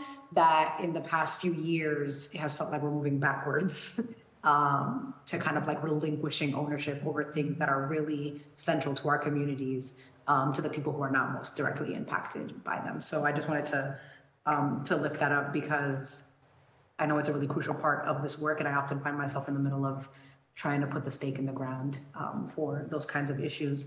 Um, I have a question, Chief White-Hammond. You were very clear in terms of needs and how we could be supportive around membership into the Tree Alliance. Can you talk about what the pro- what that process looks like? What joining the Tree Alliance looks like? we are actually going to be figuring that out. So we just awarded the grant last week. So I, I think they just need like a hot second to to get to catch their breath. But I do know that one of the things that was in um, the RFP was. Uh, to to uh, do a, string, a, spring planting season, um, and so it's going to be small. I just want to be very clear. We knew that if they were just finding out in March, we could not overdo it um, in, in the spring planting season, especially since we're now feeling like, unfortunately, June is starting to get a little late given how, how many heat waves we've already started having um, in June. Um, and so our spring planting season may be slightly curtailed um, to what it has been in the past, um, given those, those, heat changes. But um, I will make sure that we set that up. We actually have a meeting to, to meet with Audubon think next week to begin thinking that through. And then what I will make sure that we do is we actually share whatever comes out of that. And then I think it would be great to have engagement with um, the council and, and counselors commit to maybe trying to recruit two groups per you know counselor into that that would be super super super helpful especially um, if there are groups that you know of that are uh, have not been well represented in this conversation to date that would be amazing. Yeah I'm, I'm mostly thinking you know about the the heat island environmental justice neighborhoods in my district. Obviously my district has the strongest tree canopy and yes. one of the strongest tree canopies. Um, but Egleston Square is very much a heat island. We are, you know, in the process of kind of like designing a redesign of Egleston Square and wanting to get some of the Egleston Square neighbors and organizations that represent that neighborhood really a part of the Tree Alliance, where, you know, we have a bunch of people from Jamaica Plain, from West Roxbury, from the other areas of my district who are really involved in this. Uh, and so mm-hmm. thinking about the neighborhoods where the neighborhoods that are most impacted, that whose voice is not really represented in that process. Uh, so well, we'd love to help because you know we're talking to Eggleston about the peace garden. So if there's a way to bring those two things together, that would be amazing. Yeah, absolutely. And so whenever you have clarity about what membership and joining looks like, please send it my way so that we can kind of have a conversation around the Eggleston Square redesign, trees, tree alliance, that kind of green space. How do we mitigate that heat island there? Um, in the urban forestry plan, you set a goal of having 35% tree canopy coverage by 2030. Is that correct? Is that the number? I, I see Max. Max, give correct us. Give me the give me the actual number. we did not. Sorry, my voice is still going to crack. No, don't worry about it. Um, we did not set a tree canopy goal in our urban forest plan that we do not have a goal of a canopy cover. Our goal is to have an equitable canopy throughout the entire city. Got it. So there is not a 35% goal. No. And Liza, if you want to lead into that more, and so this is, I think this speaks back to the question that Councillor Louijeune um, raised, which is that our first goal, as it, as you saw, equity first, is actually leaning in on the hardest to serve neighborhoods in some instances because of the historical decisions that have been made and getting them up to a bare minimum viable standard, right? Because um, the reality is, both in Eastie and in Chinatown, in parts of Allston Bright, like it's gonna it, it's gonna be challenging. Um, and many other communities have just decided to set a number, and so then they just go out and do trees. But the often what that means is the communities that have been poorly served before continue to be poorly served because they're so hard. Um, and so I'll, I'll, say this publicly and as many places, we are starting with the hard stuff first because it's the right thing to do. Um, so what part of what it is is as we work with the alliance, but also with a lot of groups to figure out how do we get canopy in the places where it hasn't been that is our first goal. Um, and and we know that it means it's gonna probably be a little bit slower because it's harder. Mm-hmm. But if we had made these investments in these communities before, we wouldn't be in this place. And so we need to start by repairing that harm. Yeah, so your clarification has answered my question because that was that was that was going to be my question. I'm like, how there are places who have less than 20% coverage. How are you? Is this by neighborhood? Is it for the entire city? And so your clarification has answered yep. my question around equity because I'm just like, where, how are you targeting um, yeah. this tree canopy growth? And so thank you for that. And that's Max, the, go ahead. That's the behind not setting a, a, number of that 35% or any percentage was so that we could focus on neighborhoods that are that may have 10%, 9%, 7%, right? Mm-hmm. Is to get that equal that equal number right now. Okay, thank you. And so, and my last question is really about tree removal. I know Chief White-Hammond, you've mentioned, we've talked about Chinatown a little bit, but just thinking about in other places in the city where it's really difficult to plant trees, uh, but also thinking about tree removal when it comes, the sidewalks basically. I, I want to talk about the sidewalks. Is when, when trees are damaging sidewalks, is tree remove, is removing the tree kind of like the last ditch effort? What are the other things that are considered before deciding to remove a tree because of damage. And I'm, I'm asking because I know that in places like DC, they use like flexible pavement material around trees. And so is there anything that we can do before to prevent the damage and is removing the tree kind of like the last ditch effort after we've seen some sidewalk damage? It is, yeah. So removing the tree is the literal last ditch effort. Um, and in order to remove a tree, we'd have to hold a public hearing if the tree is alive and healthy.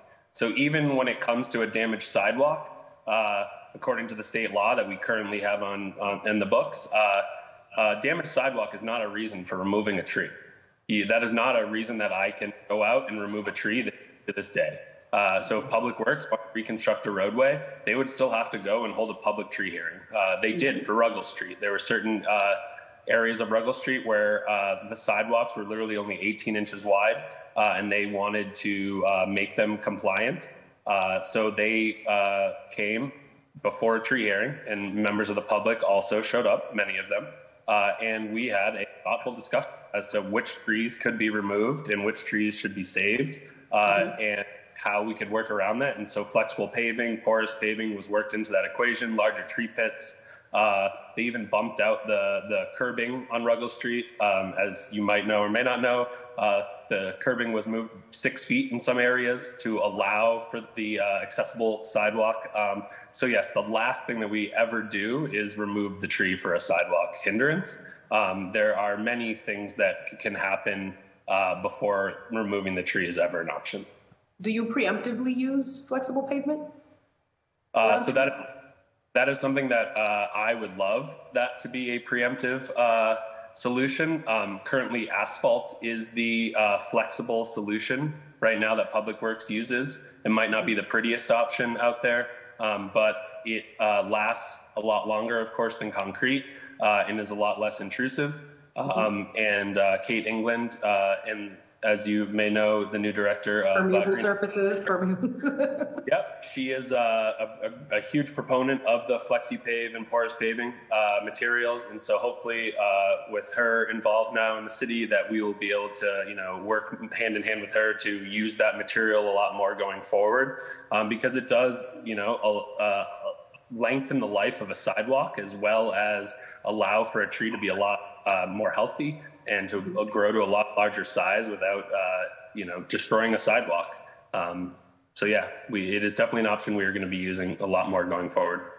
Okay. Thank you so much, Max, for the clarification and the, and, and the answer to the questions. That is all that I have. Thank you, Chair. Thank you. I see uh, Councillor Mejia, and then I'll ask my, my last question, and then I have a question that I'm going to ask on behalf of Councillor Breadon. But Councillor Mejia? Thank you, Chair. Um, just a, a quick follow-up, and I'm just curious about the makeup of the folks who are going to be on uh, the committee, the advisory council.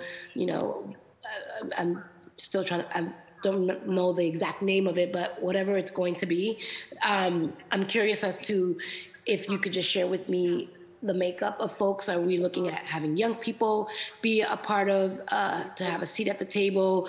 Or, and if you already talked about those things, please apologize. You know, I accept my apologies for not uh, hearing that. Um, and I'm also curious about uh, language interpretation and translation and engagement for uh, folks who whose English you know, English is not their first language in, in, terms of accessibility. You know, what does that look like in terms of making sure that we have representation from diverse perspectives and experiences? Can you just talk to me a little bit about that? Sure, Councilor Mejia. I can read you the exact language we wrote, which is BPRD shall convene an advisory committee to address issues such as policies and recommendations for forestry protection and expansion, public education and outreach. The department shall invite participation from, from residents from historically marginalized or under canopied neighborhoods and from residents between the ages of 14 and 17. So we we added that that in um, because we know that there are unique needs when we include young people in the process, and we want to make sure that that committee is set up in such a way that young people can be um, part of the conversation. Uh, but I'll just be transparent. We will have it will be, you know, from across the city, but it will be mostly from the, the neighborhoods where we're doing the most work to begin with, um, because that's where a lot of the energy will be going, and so we need the most input and direction from the communities um, that have are under canopied at this point. No, I, I, and I and I appreciate that. And you know, having worked in the youth development space, I just would like to add and uplift and and advocate um, that when we're looking at the recruitment, it's usually the the, the young people who who are highly engaged already, but that if there's an opportunity to create uh, some space for those who who may not be well versed or you know or who, who, who this could be a really great educational opportunity for them you know so i just think that I, I, I always find that the best engagement is when we are super intentional about creating space for those who are not so engaged. Mm-hmm. And so the recruitment process, I'm hoping, will um, not just be diverse in age, but also in, in experience with this in this world, if you will. I don't know yeah. if that makes any sense, but I just want to offer that as something to consider. Um, as you as you continue to go through this process. And then I guess um, th- that was basically it. I just wanted to hear a little bit about your engagement uh, process and and and outreach efforts for harder to reach youth and also uh, those who have least uh, been engaged in these sort of conversations. Thank you. Thank you, uh, Councilor Mejia. So I'm going to now ask my my two questions now that my internet's straightened out, and then uh, the question from Councilor Breadon. Then we'll go to uh, any closings if you have them, uh, Chief Reverend, but then also community comment. We have a number of folks who've been very patient, so we'll go to them, and uh, I'll give them each three minutes. Uh, so one question I have is one of the things that often happens uh, is that we'll have development where they'll say we're cutting six trees, but don't worry, we'll plant ten or we'll plant exactly the same number. Obviously, there's a difference between a fully mature tree and, and a sapling. But my question is because it's something I'd like to tie into this can we require that because so many trees die due to lack of care in that seven year period, can we require when we make these requirements of developers that they plant this or they do this? Is there a way for us to make it so that this ordinance or some other mechanism that we actually require the tree to be fully healthy within a certain, certain period of time. Otherwise, they have to replant that tree. And then, so if they cut six trees and they're saying we're going to give you 10, and then they don't take care of them, so really only three of them make it to maturity. Is there a way to sort of build into that from a legal perspective or in this tree ordinance that you actually have to make sure that that tree reaches maturity or that you're doing your very best to make sure that tree reaches maturity? Go, Max, if you want to, I mean, we have some provisions that we make. Maybe we could put those on them. But Max, did you have a, some specific ideas? Yeah, so I was just going to say what you were going to say, Chief, is that we currently require two years um, as a warranty. Um, and that's, you know, kind of the industry standard right now is two years after the date of planting um, that the tree still has to be alive and healthy. Um, and that is, you know, the, the common industry standard. So I think if you went with that, you would be within the law, and no one could really argue against that. Um, so yes. Quick question. I, quick question for you: Is the two years selected randomly, or is there a difference in, say, percentage of trees that survive after that two-year period? Does it? Is there like a noticeable drop in terms of after two years? If a tree has survived two years, then there's a 90 or eight. Like, is there a percentage of success that we get for that tree moving forward if it makes it past that two years, or is it two years sort of just picked randomly? Two years yeah. is, is the acceptable industry standard. So if your tree gets to two, years, like if you have a healthy tree for those two years, then there is a highly like high likelihood that the tree will survive going forward as long as there is continued maintenance right? So, so at, yeah. Go ahead. No, no, I was going to just say, I would say the two years is the industry standard here, but in Canada and Europe, they're pushing past that between three and five years in a number of different spaces where I've been able to talk to people. But at, to Max's point, honestly, five years ago, Max, you, you told me one year was the industry standard, and people were going with that, which might be why we were losing a lot of our trees because it was one year and, and two was better. If we could get to three, we every year that you add increases the likelihood that that tree is. It just means that somebody's gonna monitor it because they know it's gonna cost them something if it if it dies.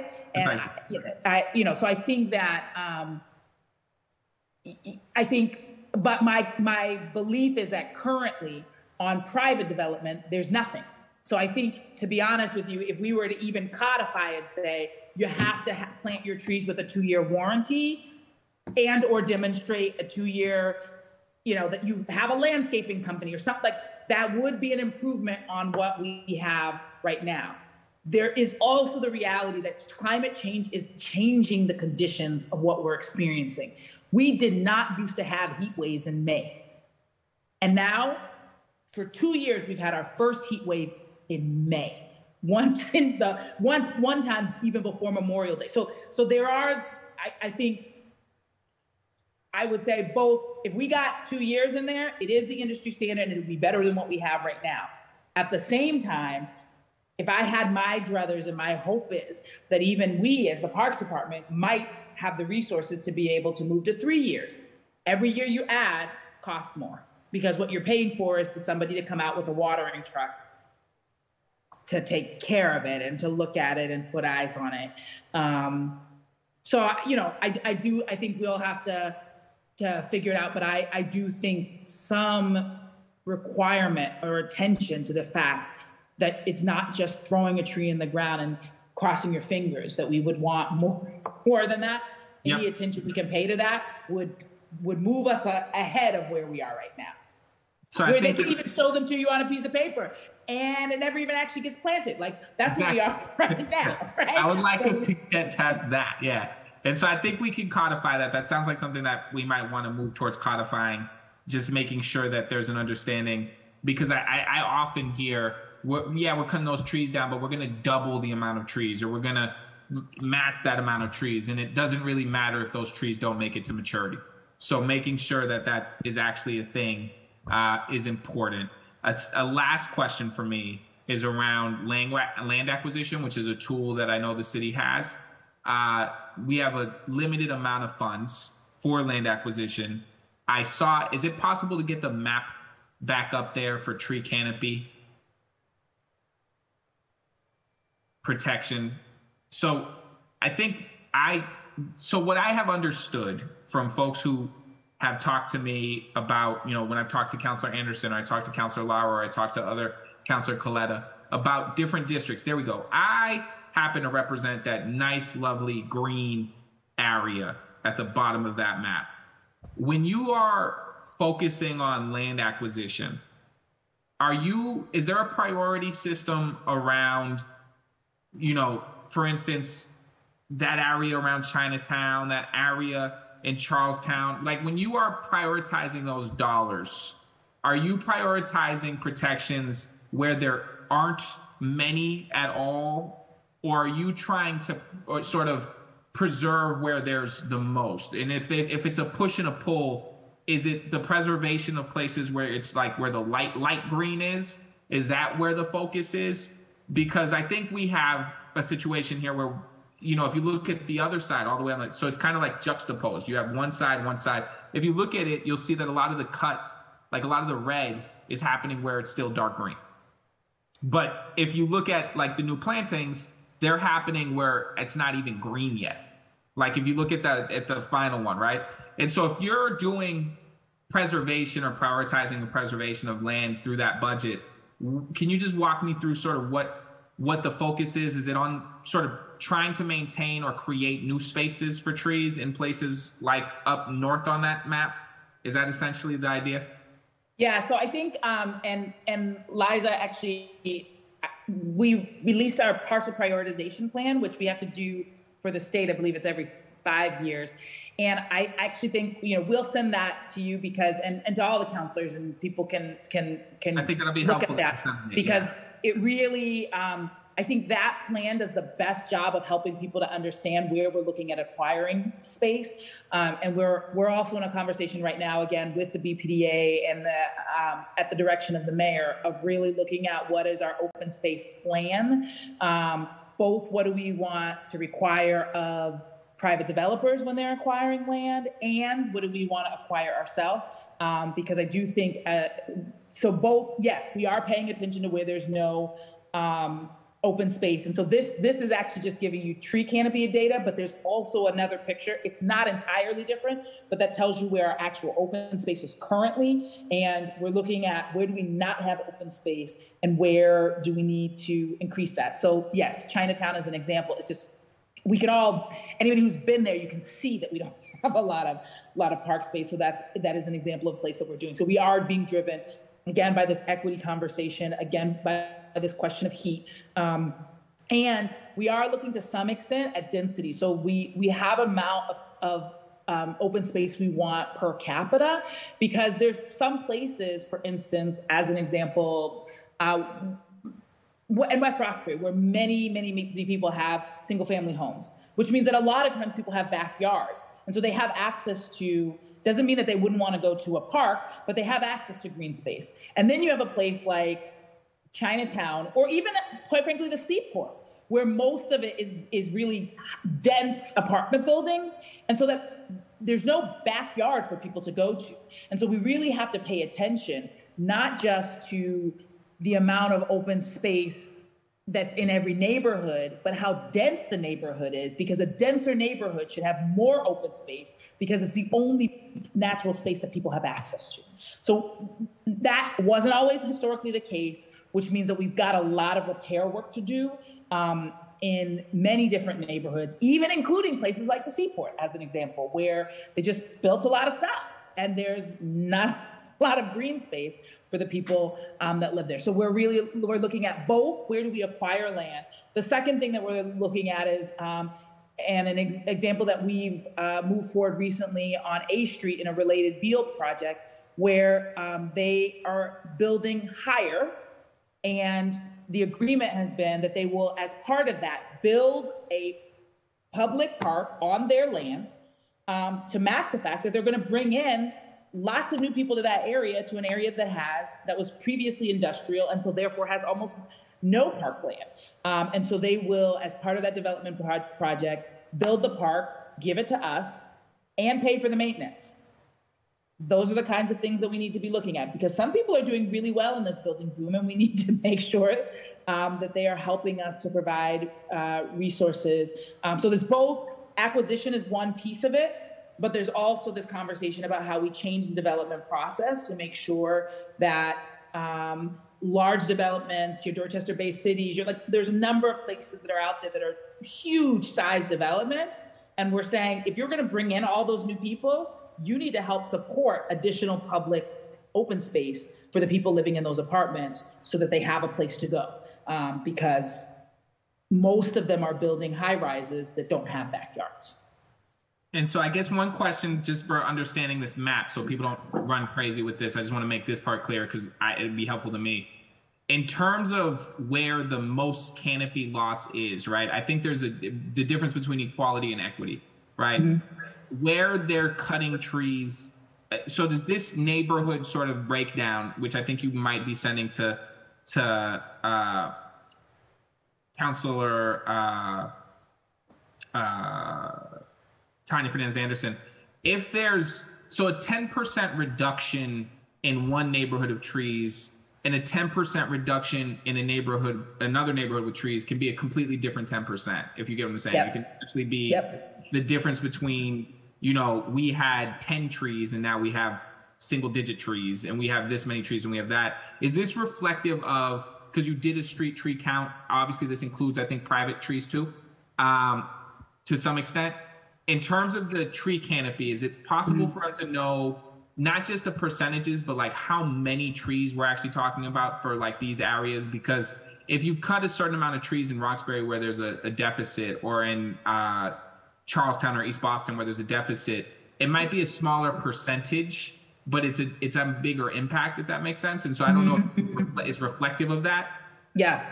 So I I'll hand that to Liza. One thing I do know is that a lot of the canopy numbers are based on satellite data where we're yep. we're looking at density Google of trees. Maps, for instance. Uh, a little bit more advanced than that, but but basically. Um, and so I'm not sure that we would have the numbers because what we're doing is looking at a mass of trees and then asking what how small did that mass get? Does that make sense? Yes. So, but I, I don't know, Liza, are we able to provide any additional? Uh, is there any way for us to extrapolate those numbers? I'm not sure that there is. Yeah, I'm not sure there is either. Certainly for street trees, we have numbers because we did an inventory, a you know tree by tree inventory. But for general tree coverage across all property types, I'm not sure that we do, but we have the, this sense of change. I pulled up this map because one of the um, indicators is the areas with low canopy coverage already. So areas that already have 10% or less canopy coverage, um, which gets at the point of these are the places where it's already low, where increase, you know, increasing loss is going to be all the more detrimental and where gains could be all the more positively impactful. Um, so this priority zone map is something that not just shows where we need to be prioritizing plantings, but also where protecting trees that are already there um, is essential, right? It, it goes both ways. It's not just about planting, it's about planting and protection. And you can see that the majority of the city has some degree of these indicators. Um, in most cases, at least two of these indicators. So there's. And so just, just if I can cut in there. So it would seem, just if I'm reading this map correctly, that Councillor Lara's district, which would be sort of where all that white and green is, uh, where West Roxbury and Jamaica Plain is, and then my district where you can see the Stony Brook Reservation's impact right there. Those look like, even though we do have indicator of priority zones, it looks like the higher priority zones are really District 7, uh, which is Roxbury, uh, the downtown area. It looks like Allston, Brighton, East Boston, Charlestown, um, a significant portion of Dorchester. Is that an accurate read of this map? Is that those are essentially the priority zones? So looking at this map, it would look like District 5 and District 6 are sort of low, the lowest on the priority zone based on just sort of reading where the red hotspots are on this. Is that an accurate read? Yes. All right. That's helpful um, to know. And then I, I will ask as a final question before I go to community, Liz Breadon's question, which was about cooperation with other agencies. Uh, she says that the MBTA along the commuter app corridor, as an example, uh, roadwork contractors and neighboring municipalities seem to do a better job protecting street trees with boards and screening. And Allston is an environmental justice community and has significant heat island effect. Are we targeting that area? Which, looking at this map, it looks like the answer is yes. So I think the second part of that question is just uh, how are we working with things like the MBTA, which I can tell you in my district, it's been incredibly difficult to work with the MBTA. So I'm assuming the city is having similar stories. So I'll just say this. It, we are hopeful that there are leadership changes at the state that will change the dynamics. The historical dynamics are challenging. Um, so we're, we're not closed. We believe that to really address tree canopy, we need to be working with the MBTA and DCR and Massport and our historical experience is not amazing in that part. How diplomatically nice of saying it's it's awful because I I'm in my district it's awful. So I appreciate the diplomacy, the diplomacy there. Uh, so we're gonna we're gonna go to community uh, comment. Uh, I think everybody who signed up except I think one or two are here. Um, and so we are going to make you a panelist. Uh, please raise your hand if you have signed up for public testimony so that we can get to you quickly and know that you're ready. Um, we're going to make you a panelist. You will then speak. I'm going to give you all three minutes. Uh, if you are representing an organization, please please state that. Uh, if you are uh, able to tell us what neighborhood in the city that you are representing as a resident, that would be great as well. Uh, and so we will now go through that list. Uh, and then uh, central staff, if you can help me make sure folks are, are brought up. Uh, we're going to try and do it by order of people who signed up. So there, there is a method to this. It's what order you signed up in. We'll get you up here quicker. Uh, and so uh, I know Lisa Beatman is first. I'm not sure if she's on yet. So we can go to David Meshoulam the executive director and co-founder of Speak for the Trees. Thank you, uh, Councilor Arroyo, and thank you everyone today for your comments and your questions. My name is David Meshoulam, uh, Executive Director here at Speak for the Trees. I know most everyone here, um, except for Todd Mistor. So welcome, Todd. Uh, we're really excited to have a director of urban forestry, and I want to thank the leadership that uh, Commissioner Woods and Chief uh, Hammond have shown in developing this position on the plan. Um, I prepared comments focused more on the um, on the proposed ordinance itself, but I did have some thoughts that um, emerged while people were talking, and I just want to throw them out there. Um, so, for those of you who don't know about our organization, we uh, work at the community level to engage residents in uh, caring for trees and learning about trees and planting trees. Um, and we've been around for about five years. Um, and we're super excited for the alliance and for the increased capacity that the city is showing. Um, and I think one of the things that we're really excited for is also to have a director of urban forestry where we can start sharing information and data. So we have a lot of great programs we're running. Um, there's a lot of great data and information the city has. And a lot of the conversations that came out earlier in, this morning focused on, on data and, and, and GIS mapping. So we hope that we can, I know that Mariama and I, uh, Chief Mariama and I have spoken about a tree adoption platform that we've developed, um, thinking about how we could really lean in on that and lift that up. Um, so I'm just going to run through real quick my my brief comments about the um, the ordinance itself, because for the past couple of months I've been working closely with, or there's been a coalition of folks uh, working very closely to sort of unpack the ordinance. Um, and we think it's an exciting opportunity to do this uh, ordinance. Um, and I just wanted to quote a little bit from the Department of Conservation Recreation because it's developed a review of tree ordinances across the state and it recommends that the process begin, quote, with some soul searching and information gathering. What are the goals of the community? What are the needs? What are the issues that a tree ordinance should clarify? What resources does the community currently have? And I think with the urban forest plan, a lot of that has been done. But as Boston embarks on this process, it is critical that community voices continue to be front and center in the process. So we've been meeting a group of residents and advocates through a coalition called the Environmental Health as Wealth Advocacy Coalition. Uh, been meeting regularly to analyze the proposed ordinance. And I believe we sent to you last week our shared goals and principles statement. Yeah, you got that, as well as suggested edits to the proposed ordinance. We hope that the specifics of these documents shape the content of the ordinance, but more importantly, we appeal to you that community members' voices, concerns, and hopes be more centrally involved in next steps, especially in the upcoming working sessions that begin in April. So for remainder of my time, and I don't know how much time uh, I have, Councilor Arroyo. I extended it a minute because I knew you were you were saying you had other thoughts from this that I want to make sure I give you time to speak on.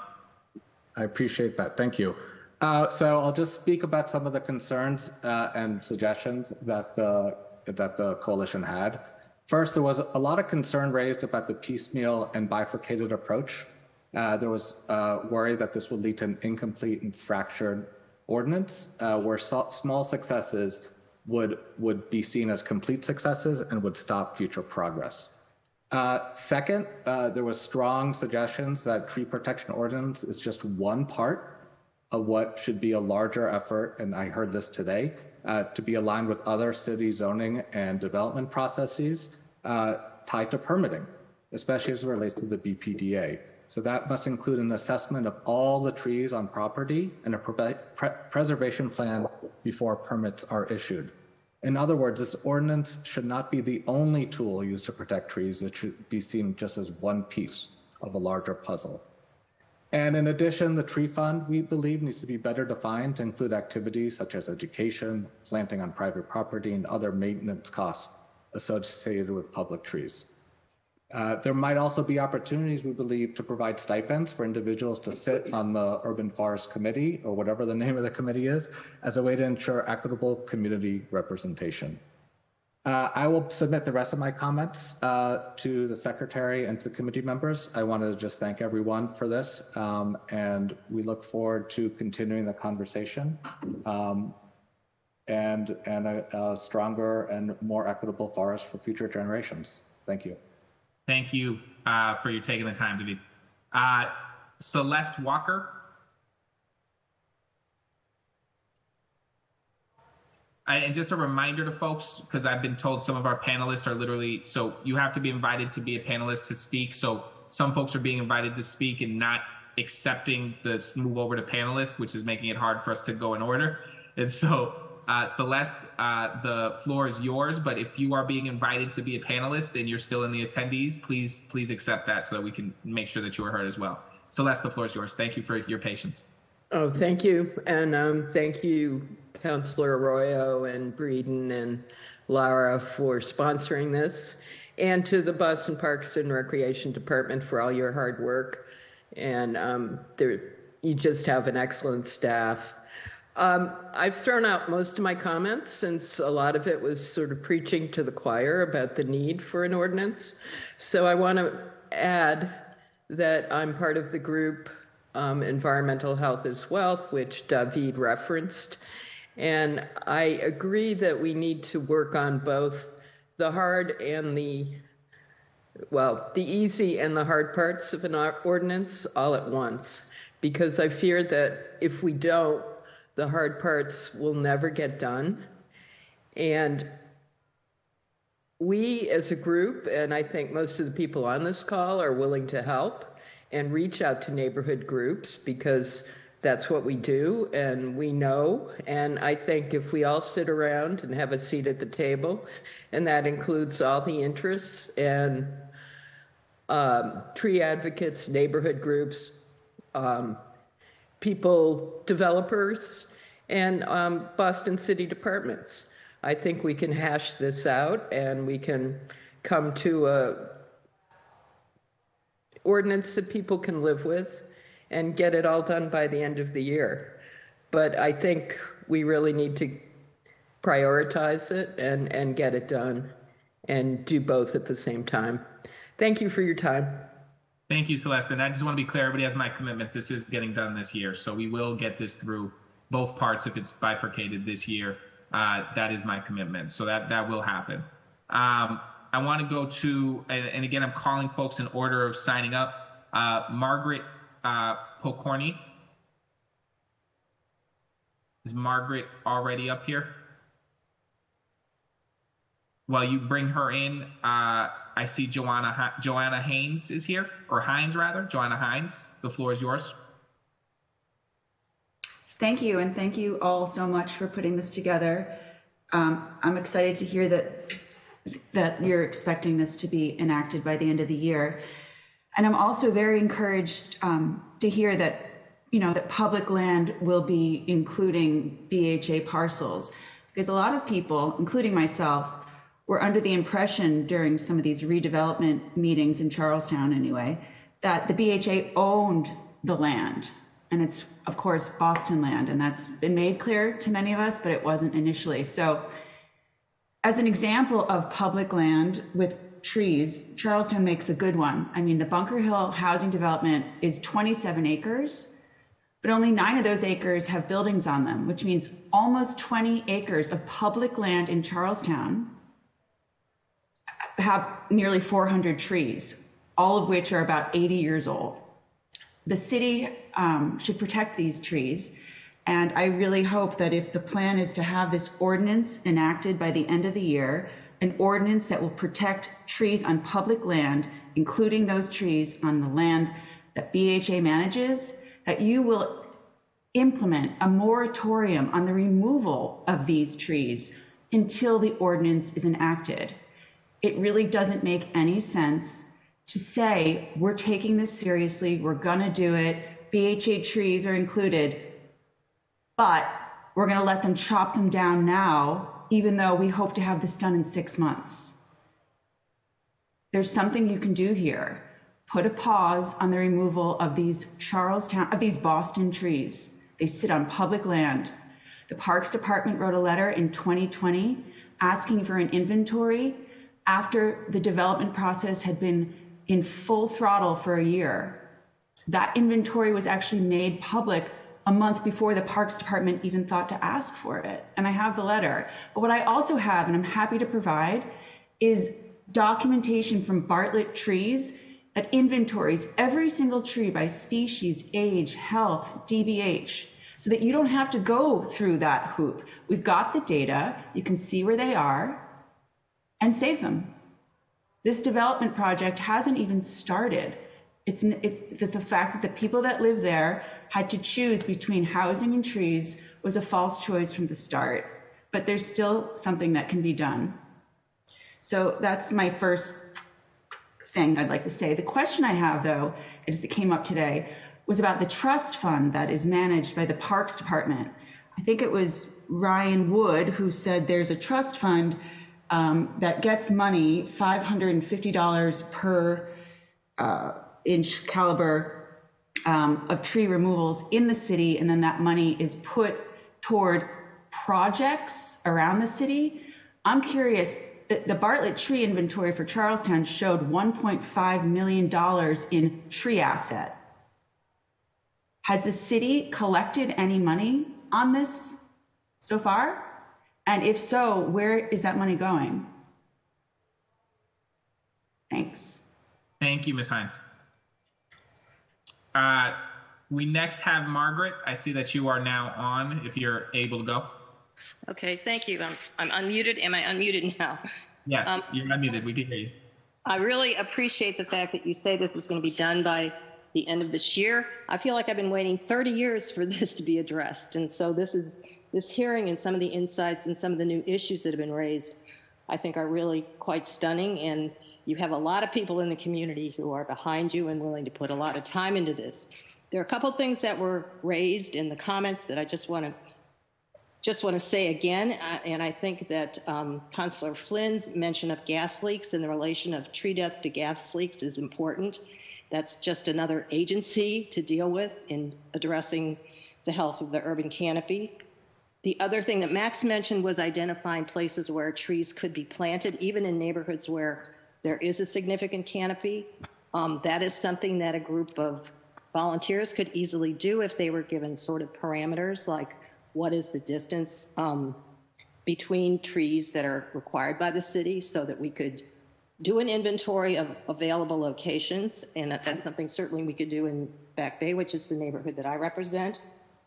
And the other is using a lot of these park advocacy groups who have been around for a long time, like the Friends of the Public Garden, who are over 50 years old, Garden Club of the Back Bay, which is over 50 years old, which would like to share our experience and our expertise with parks groups in other parts of the city that don't have that kind of um, experience.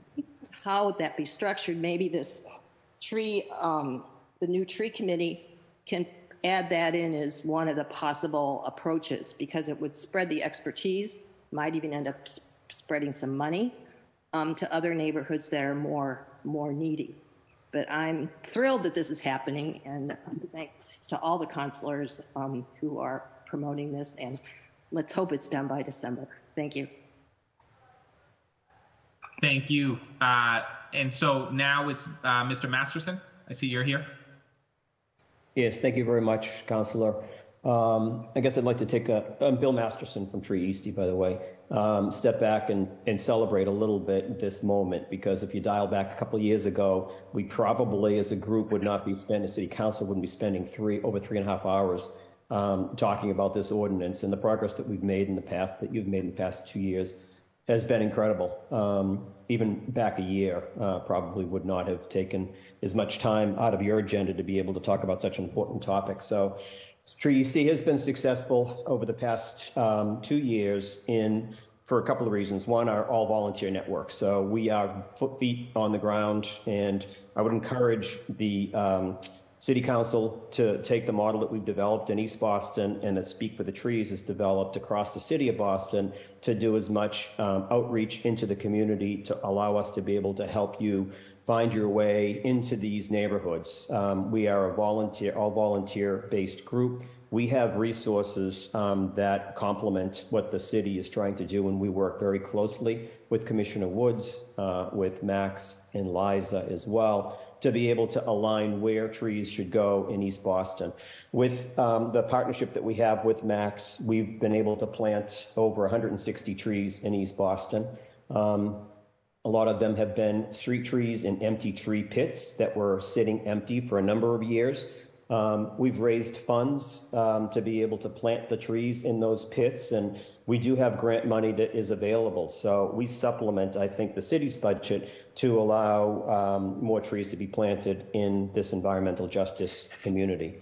We've got a group of folks that are out now tagging trees with these adopt a tree tags, the um, tags that, that have been developed to put on any new city planted tree as well as Tree Eastie tree. There are about 90 people that have adopted trees in East Boston, again, to be able to supplement the city's efforts. So I love the direction that the urban master plan is taking with um, Chief Reverend looking at sort of bite-sized pieces because it is an overwhelming task and is going to be a lot of work for a lot of people. But if you could use or um, choose to use Tree Eastie as an incubator for some of those ideas, we are working with developers right now to um, get them to plant more trees as part of their plans, both on their sites as well as in uh, on the streets.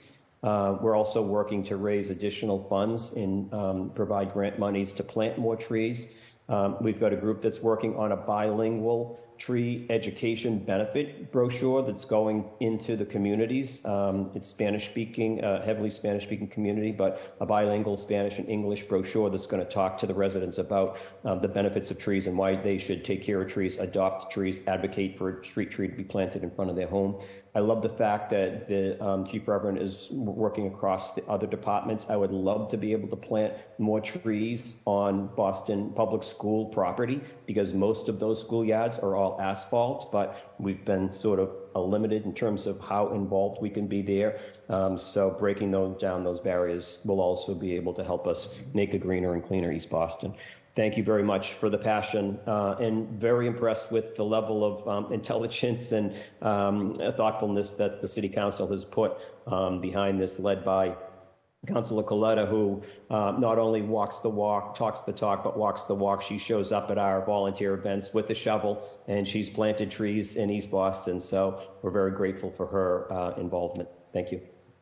Thank you, Mr. Masterson, for your work out there and for the uh, the flag on the schools. That is something that I think we absolutely should figure out how to how to do. I went to school, for instance, with the Sarah Greenwood, and they have that massive asphalt in the back there that's like a parking lot size, but doesn't have any trees or sort of places to play. And we have Trinity School, which is closer to my district, which is a private school that had a similar situation, and they took half of that parking lot and they made it into a park, and it's really nice.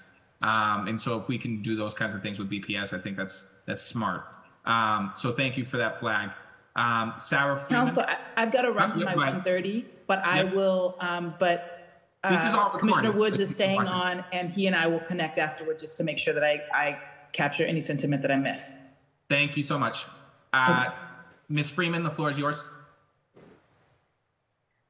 Hi, everyone. Thank you. Um, I hope you can hear me. Yes, we can hear you. Okay, thank you. Um, I will save time. This has been a long, long hearing, so I submitted an email that I won't um, read excerpts from, but I will say I echo the previous speakers and really appreciate the counselors' interest and appreciate the hearing and um, as Margaret said, it feels like we've been waiting a long, long time for this. So, um, very excited. Uh, and meanwhile, while we've been waiting, a lot of trees have come down. So, my new info, I can send in a follow up email. Um, health institutions, I think it was Reverend Mariama who's talked about reaching out to them, reminded me that Louisville, Kentucky has a partnership with health institutions, um, just recognizing the, the value of trees and trying to research, like to look more into it. Um, I have a six and a half minute video link that I'll share. It's very informative. One thing that caught my attention is that they became alarmed when their canopy, they were losing, I think, 54,000 trees a year, and their canopy had dropped to 37%. And so it was kind of a dose of humble pie for me that, uh, that they became mobilized when they realized they were down to 37. So, in our uh, outreach, especially on uh, private land with the developers, I'd like to see us do more in the way of us, meaning the city, in the way of education and communication so that we're preventing harm rather than thinking in terms of mitigation. And I'll give you one example. In my uh, participation with the Friends of Melnea Cass Boulevard, there was a developer who came to talk to the group. And one of the participants said, Ask the guy, who I won't name, um, that didn't it ever occur to you that the res- neighbors might care about this tree? And the, the answer was, well, the city, it wasn't on the city's priority list. And so that was also a splash of, of cold water. So um, I'll leave it at that. Thank you again and look forward to supporting however I can. Oh, I forgot to say I'm from JP. and, and live on the Arbor Way, which Arbor means tree, so it's kind of a natural. Yeah, Thank you. it's a good fit. Thank you. Uh, if we can go to uh, John John Michelle. Yes, thank you, Councilor Arroyo. Thank you for putting forward this ordinance. Thank you, Councilors Lara and Breadon. Um, I I join with my fellow advocates. This has been a terrific discussion. Uh, good for us that we are advancing in this way. I am a um, three and a half year, three and a half decade resident of Hyde Park. Uh, I want to make a quick personal statement, which is as a resident of Hyde Park, which appears on the map uh, to be overly endowed or, or blessed with tree canopy. You know, the, the tree canopy here in Hyde Park benefits the whole city, the whole region.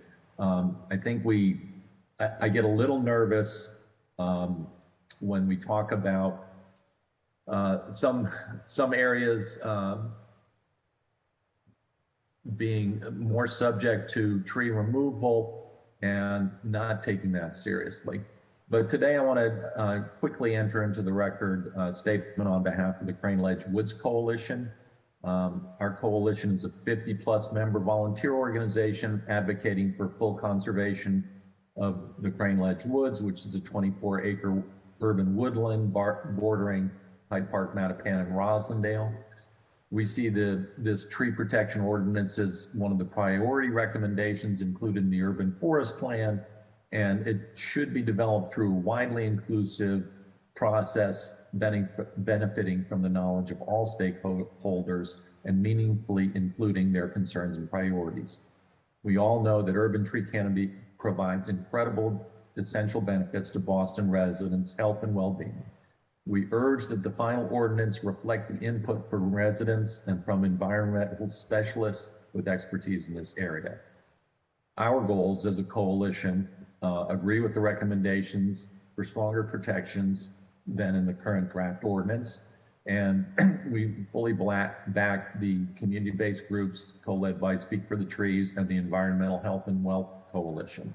We stand in full support of our neighbors across Boston working to address priority concerns around climate change, environmental justice, and the advancement of equitable, sustainable development, focusing on affordable housing as, at walkable locations near public transit hubs.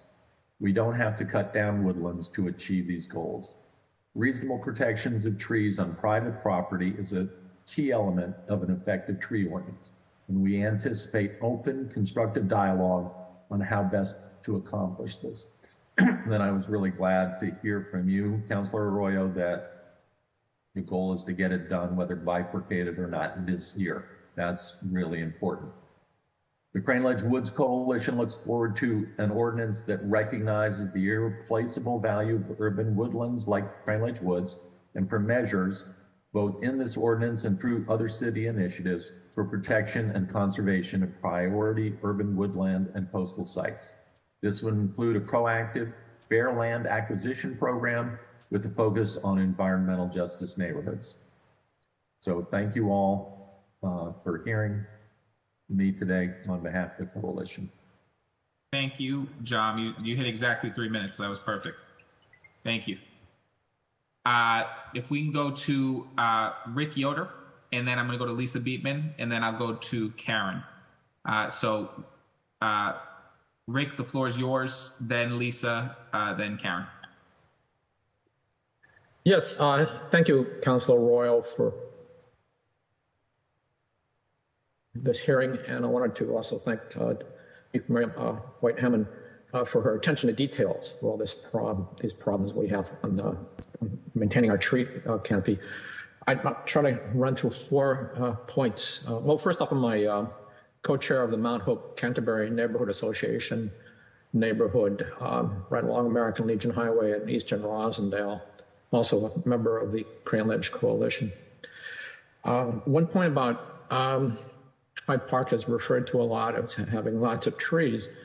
And I was, other people sort of made this point is that, uh, but, but specifically, if you live near Stony Brook Reservation, you, you have a lot of trees around. That, that is a lot of trees there.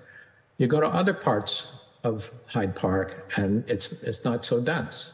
So you can't look at Hyde Park as a whole. It's a huge piece of land. You could put six um, pieces of land the size of the south end into Hyde Park. It's equivalent to having six south ends. We don't talk about Hyde Park that way, but in fact, that is what is going on. So, for instance, Crane Ledge, you go out eight blocks from the Crane Ledge Woods, that's the size of uh, the south end.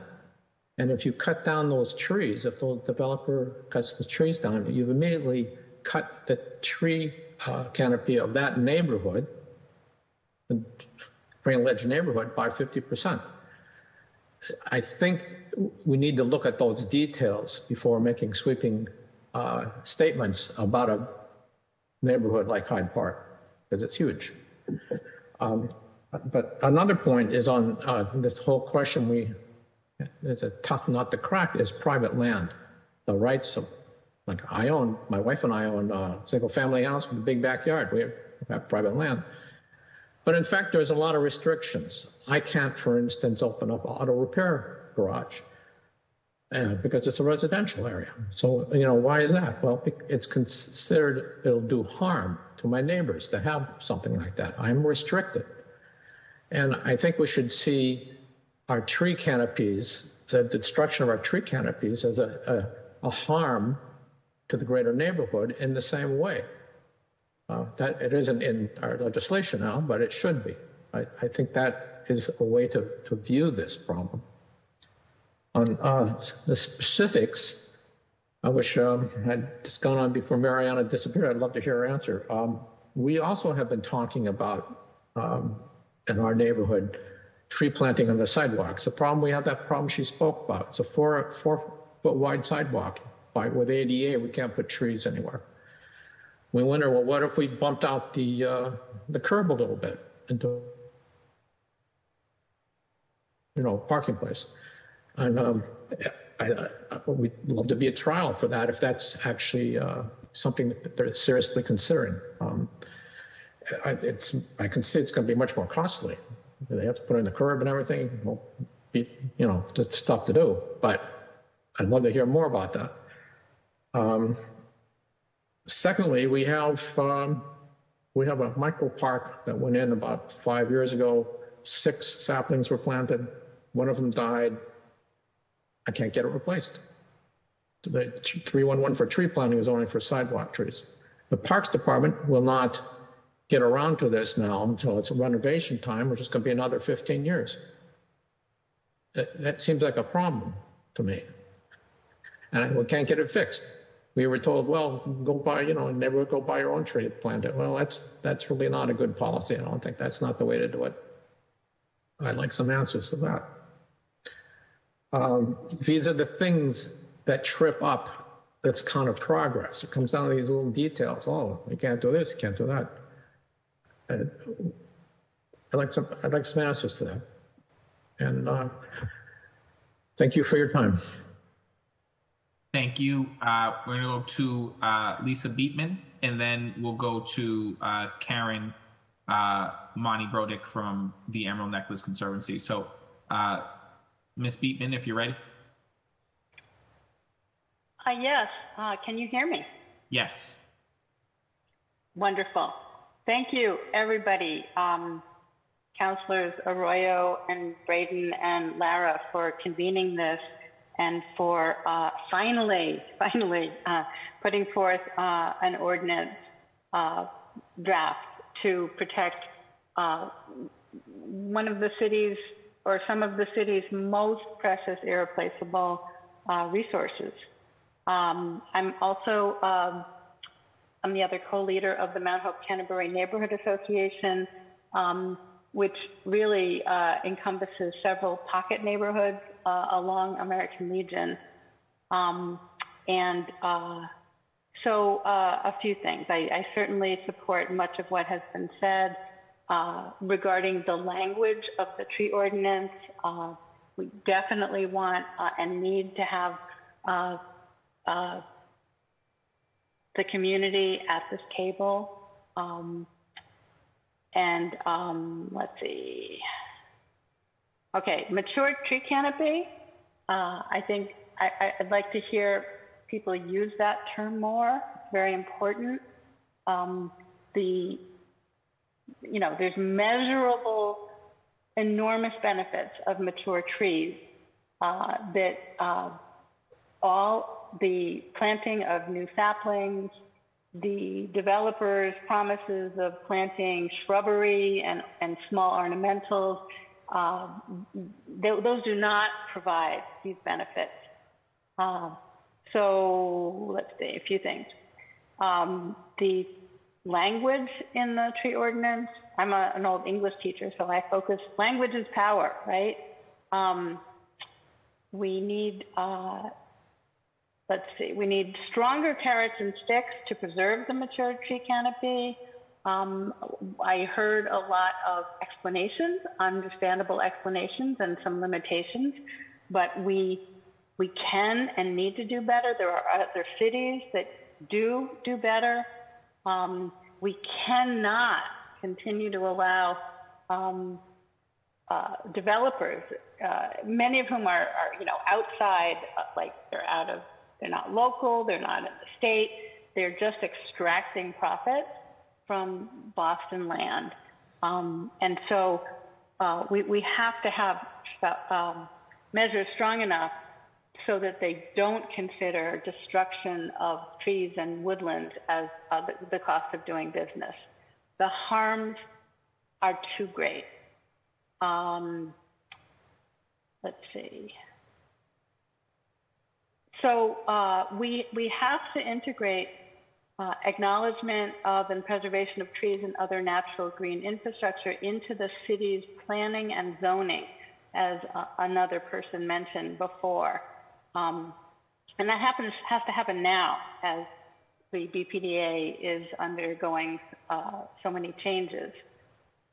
Uh, the measurable public health benefits of the existing conditions of undeveloped land needs to be documented in the review process. Uh, the term vacant land should be stopped being used uh, to describe uh, undeveloped natural land with permeable soil and uh, and trees and and waterways. Um, any exemptions of uh, protection, preservation of those uh, resources uh, should be infrequent and rare. Developers must be required to submit photos and other evidence of existing conditions. And renderings should be required to be more accurate and not misleading. Um, the, uh, I sent in a, a letter, or Rick and yep, I sent in a letter. Um, so uh, a couple things uh, from that. Let's see. Let me move down. Um, yeah. So regarding back to the language of the um, of the ordinance, Uh, the BPDA already requires an inventory of trees six caliper inches or more, acknowledging their value. The current pro- proposed ordinance uh, starts at, uh, preserve, at looking to preserve uh, trees of eight inch calipers or more. Um, there's no reason to start higher than what the BPA already requires. Um, there's a there's a big there's too much focus on on legacy heritage trees and and not enough focus on what I'm going to call working class trees, um, which especially when they are connected, to connected tree pan- canopy in the the diminishing remaining uh, woodlands that we have. Uh, there are many studies showing that the connected tree canopy, which is comprised of thick and thin trees, um, they they need to be protected and they need to be measured. Canopy volume needs to be measured, not just tree diameter. Uh, and you. then public health, just public health, public health. That needs to be more in this equation. Thank you. Thank you so much. Uh, Karen, floor is yours. Unmute. Have to learn to unmute. Two master's degrees and I can't unmute. Um, thanks, everyone. I really appreciate um, your time. Uh, thank you, city councilors, for bringing this very important uh, topic to uh, a broader conversation today. Um, my name is Karen Mauney-Brodek. I'm the president of the Emerald Necklace Conservancy. I have the pleasure of working with many, many of you um, as we work to steward. Uh, Liza, I, I really appreciate um, Liza's comments about a connected tree canopy, which is um, the emerald necklace. And I wanted to um, just mention a couple of things. I, I, think it's so important that this, organi- this this panel and this conversation today really do think hard about what can be done to manage the loss on private land. Um, I think there's a lot of opportunity on public land too, but what we saw in the urban forestry study was that most of the loss was on, you know, land that it was outside full public control. Um, so I'm really excited to see how those things can happen because I think of all we can do on the emerald necklace and, and, and places that we have more control. But if things don't change on private land, we um, we will still lose massive ground. Um, I wanted to mention that the Emerald Necklace Conservancy is continues to be every day thrilled that we are in a very close partnership with the city of Boston, the town of Brookline, and DCR with um, a program called the Olmsted Tree Society. And we have uh, assigned uh, an active uh, memorandum of understanding where we match dollar for dollar using private donors' uh, contributions, small and large, to invest in uh, the tree canopy of the Emerald Necklace. And just this last year, we have now um, inventoried over 9,500 trees from Roxbury, Mattapan um, to the Back Bay, um, inspected, inventoried, and pruned those. And I am excited. I'm excited that I think from what we heard at the hearing today, we may be um, in in the future be able to say that about all the trees in Boston because certainly the Emerald Necklace, though it comprises half of Boston's parkland, does not comprise all of the city's parks and does not comprise all of the city's uh, street trees. I, I think I will speak for the Emerald Necklace Conservancy and I say that I'd like to find ways that we could better connect um, and link and either through planting or other ways the the the networks that um, were talked by talked about by the last um, species. Um, but again, I wanted to say, you know, thank you. We meet quarterly with the City of Boston's Parks Department to review the tree planting, the tree pruning, the tree work we're going to be doing. I mean, it happens every quarter. I think it happens so well that you guys don't hear about it. You might not know what's going on. But um, every quarter we sit down and figure out what we're all doing to make sure that we're supporting in partnership um, these public trees uh, in the Emerald Necklace. And we've invested over $3 million um, of donations into the, the Emerald Necklace. And I want this group to know that um, I've worked in two other cities, and this is the only city that I have seen this type of a multi jurisdictional public private partnership that covers urban trees like this.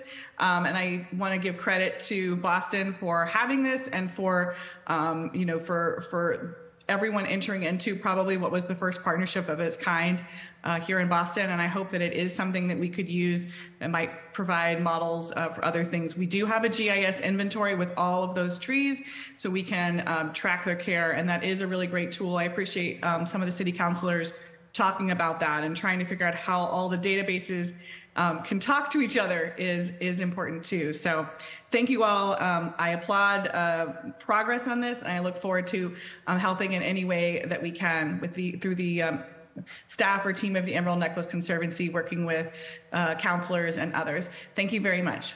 Thank you. And I think we have one more uh, who is on a phone number. So please identify yourself uh, by name and neighborhood when you start, and then the floor is yours. So I don't have a name for you. I just have your phone number. Um, so floor is yours. Thank you, Councilor. Uh, Craig Martin, Hyde Park. And I, um, I thank you for this opportunity, even though I wasn't uh, planning to speak. Um, but I, I heard so much today and so much good stuff. Um, but I am, I am troubled by the bifurcation of this. It seems like, and this just seems backwards, why we're today spending time, when time is in essence, was, uh, as an earlier caller mentioned, we are losing trees right now. Why we're spending time on the government sector when it was already explained that we already do have safety protections um, on the government sector. Why today we're not starting with the private lands?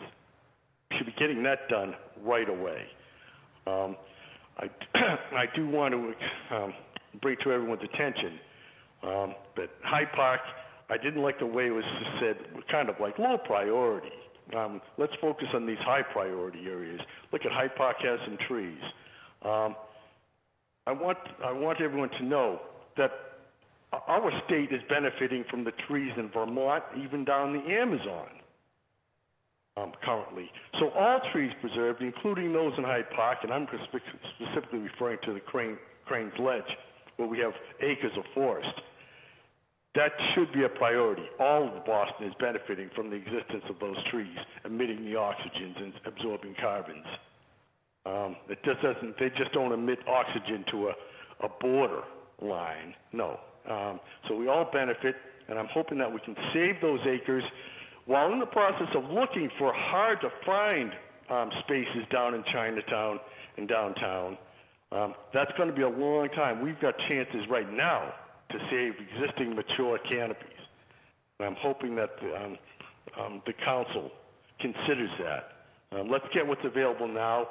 Meanwhile, let's work on the harder to find parcels um, at the same time um, that, are in, that are in priority areas.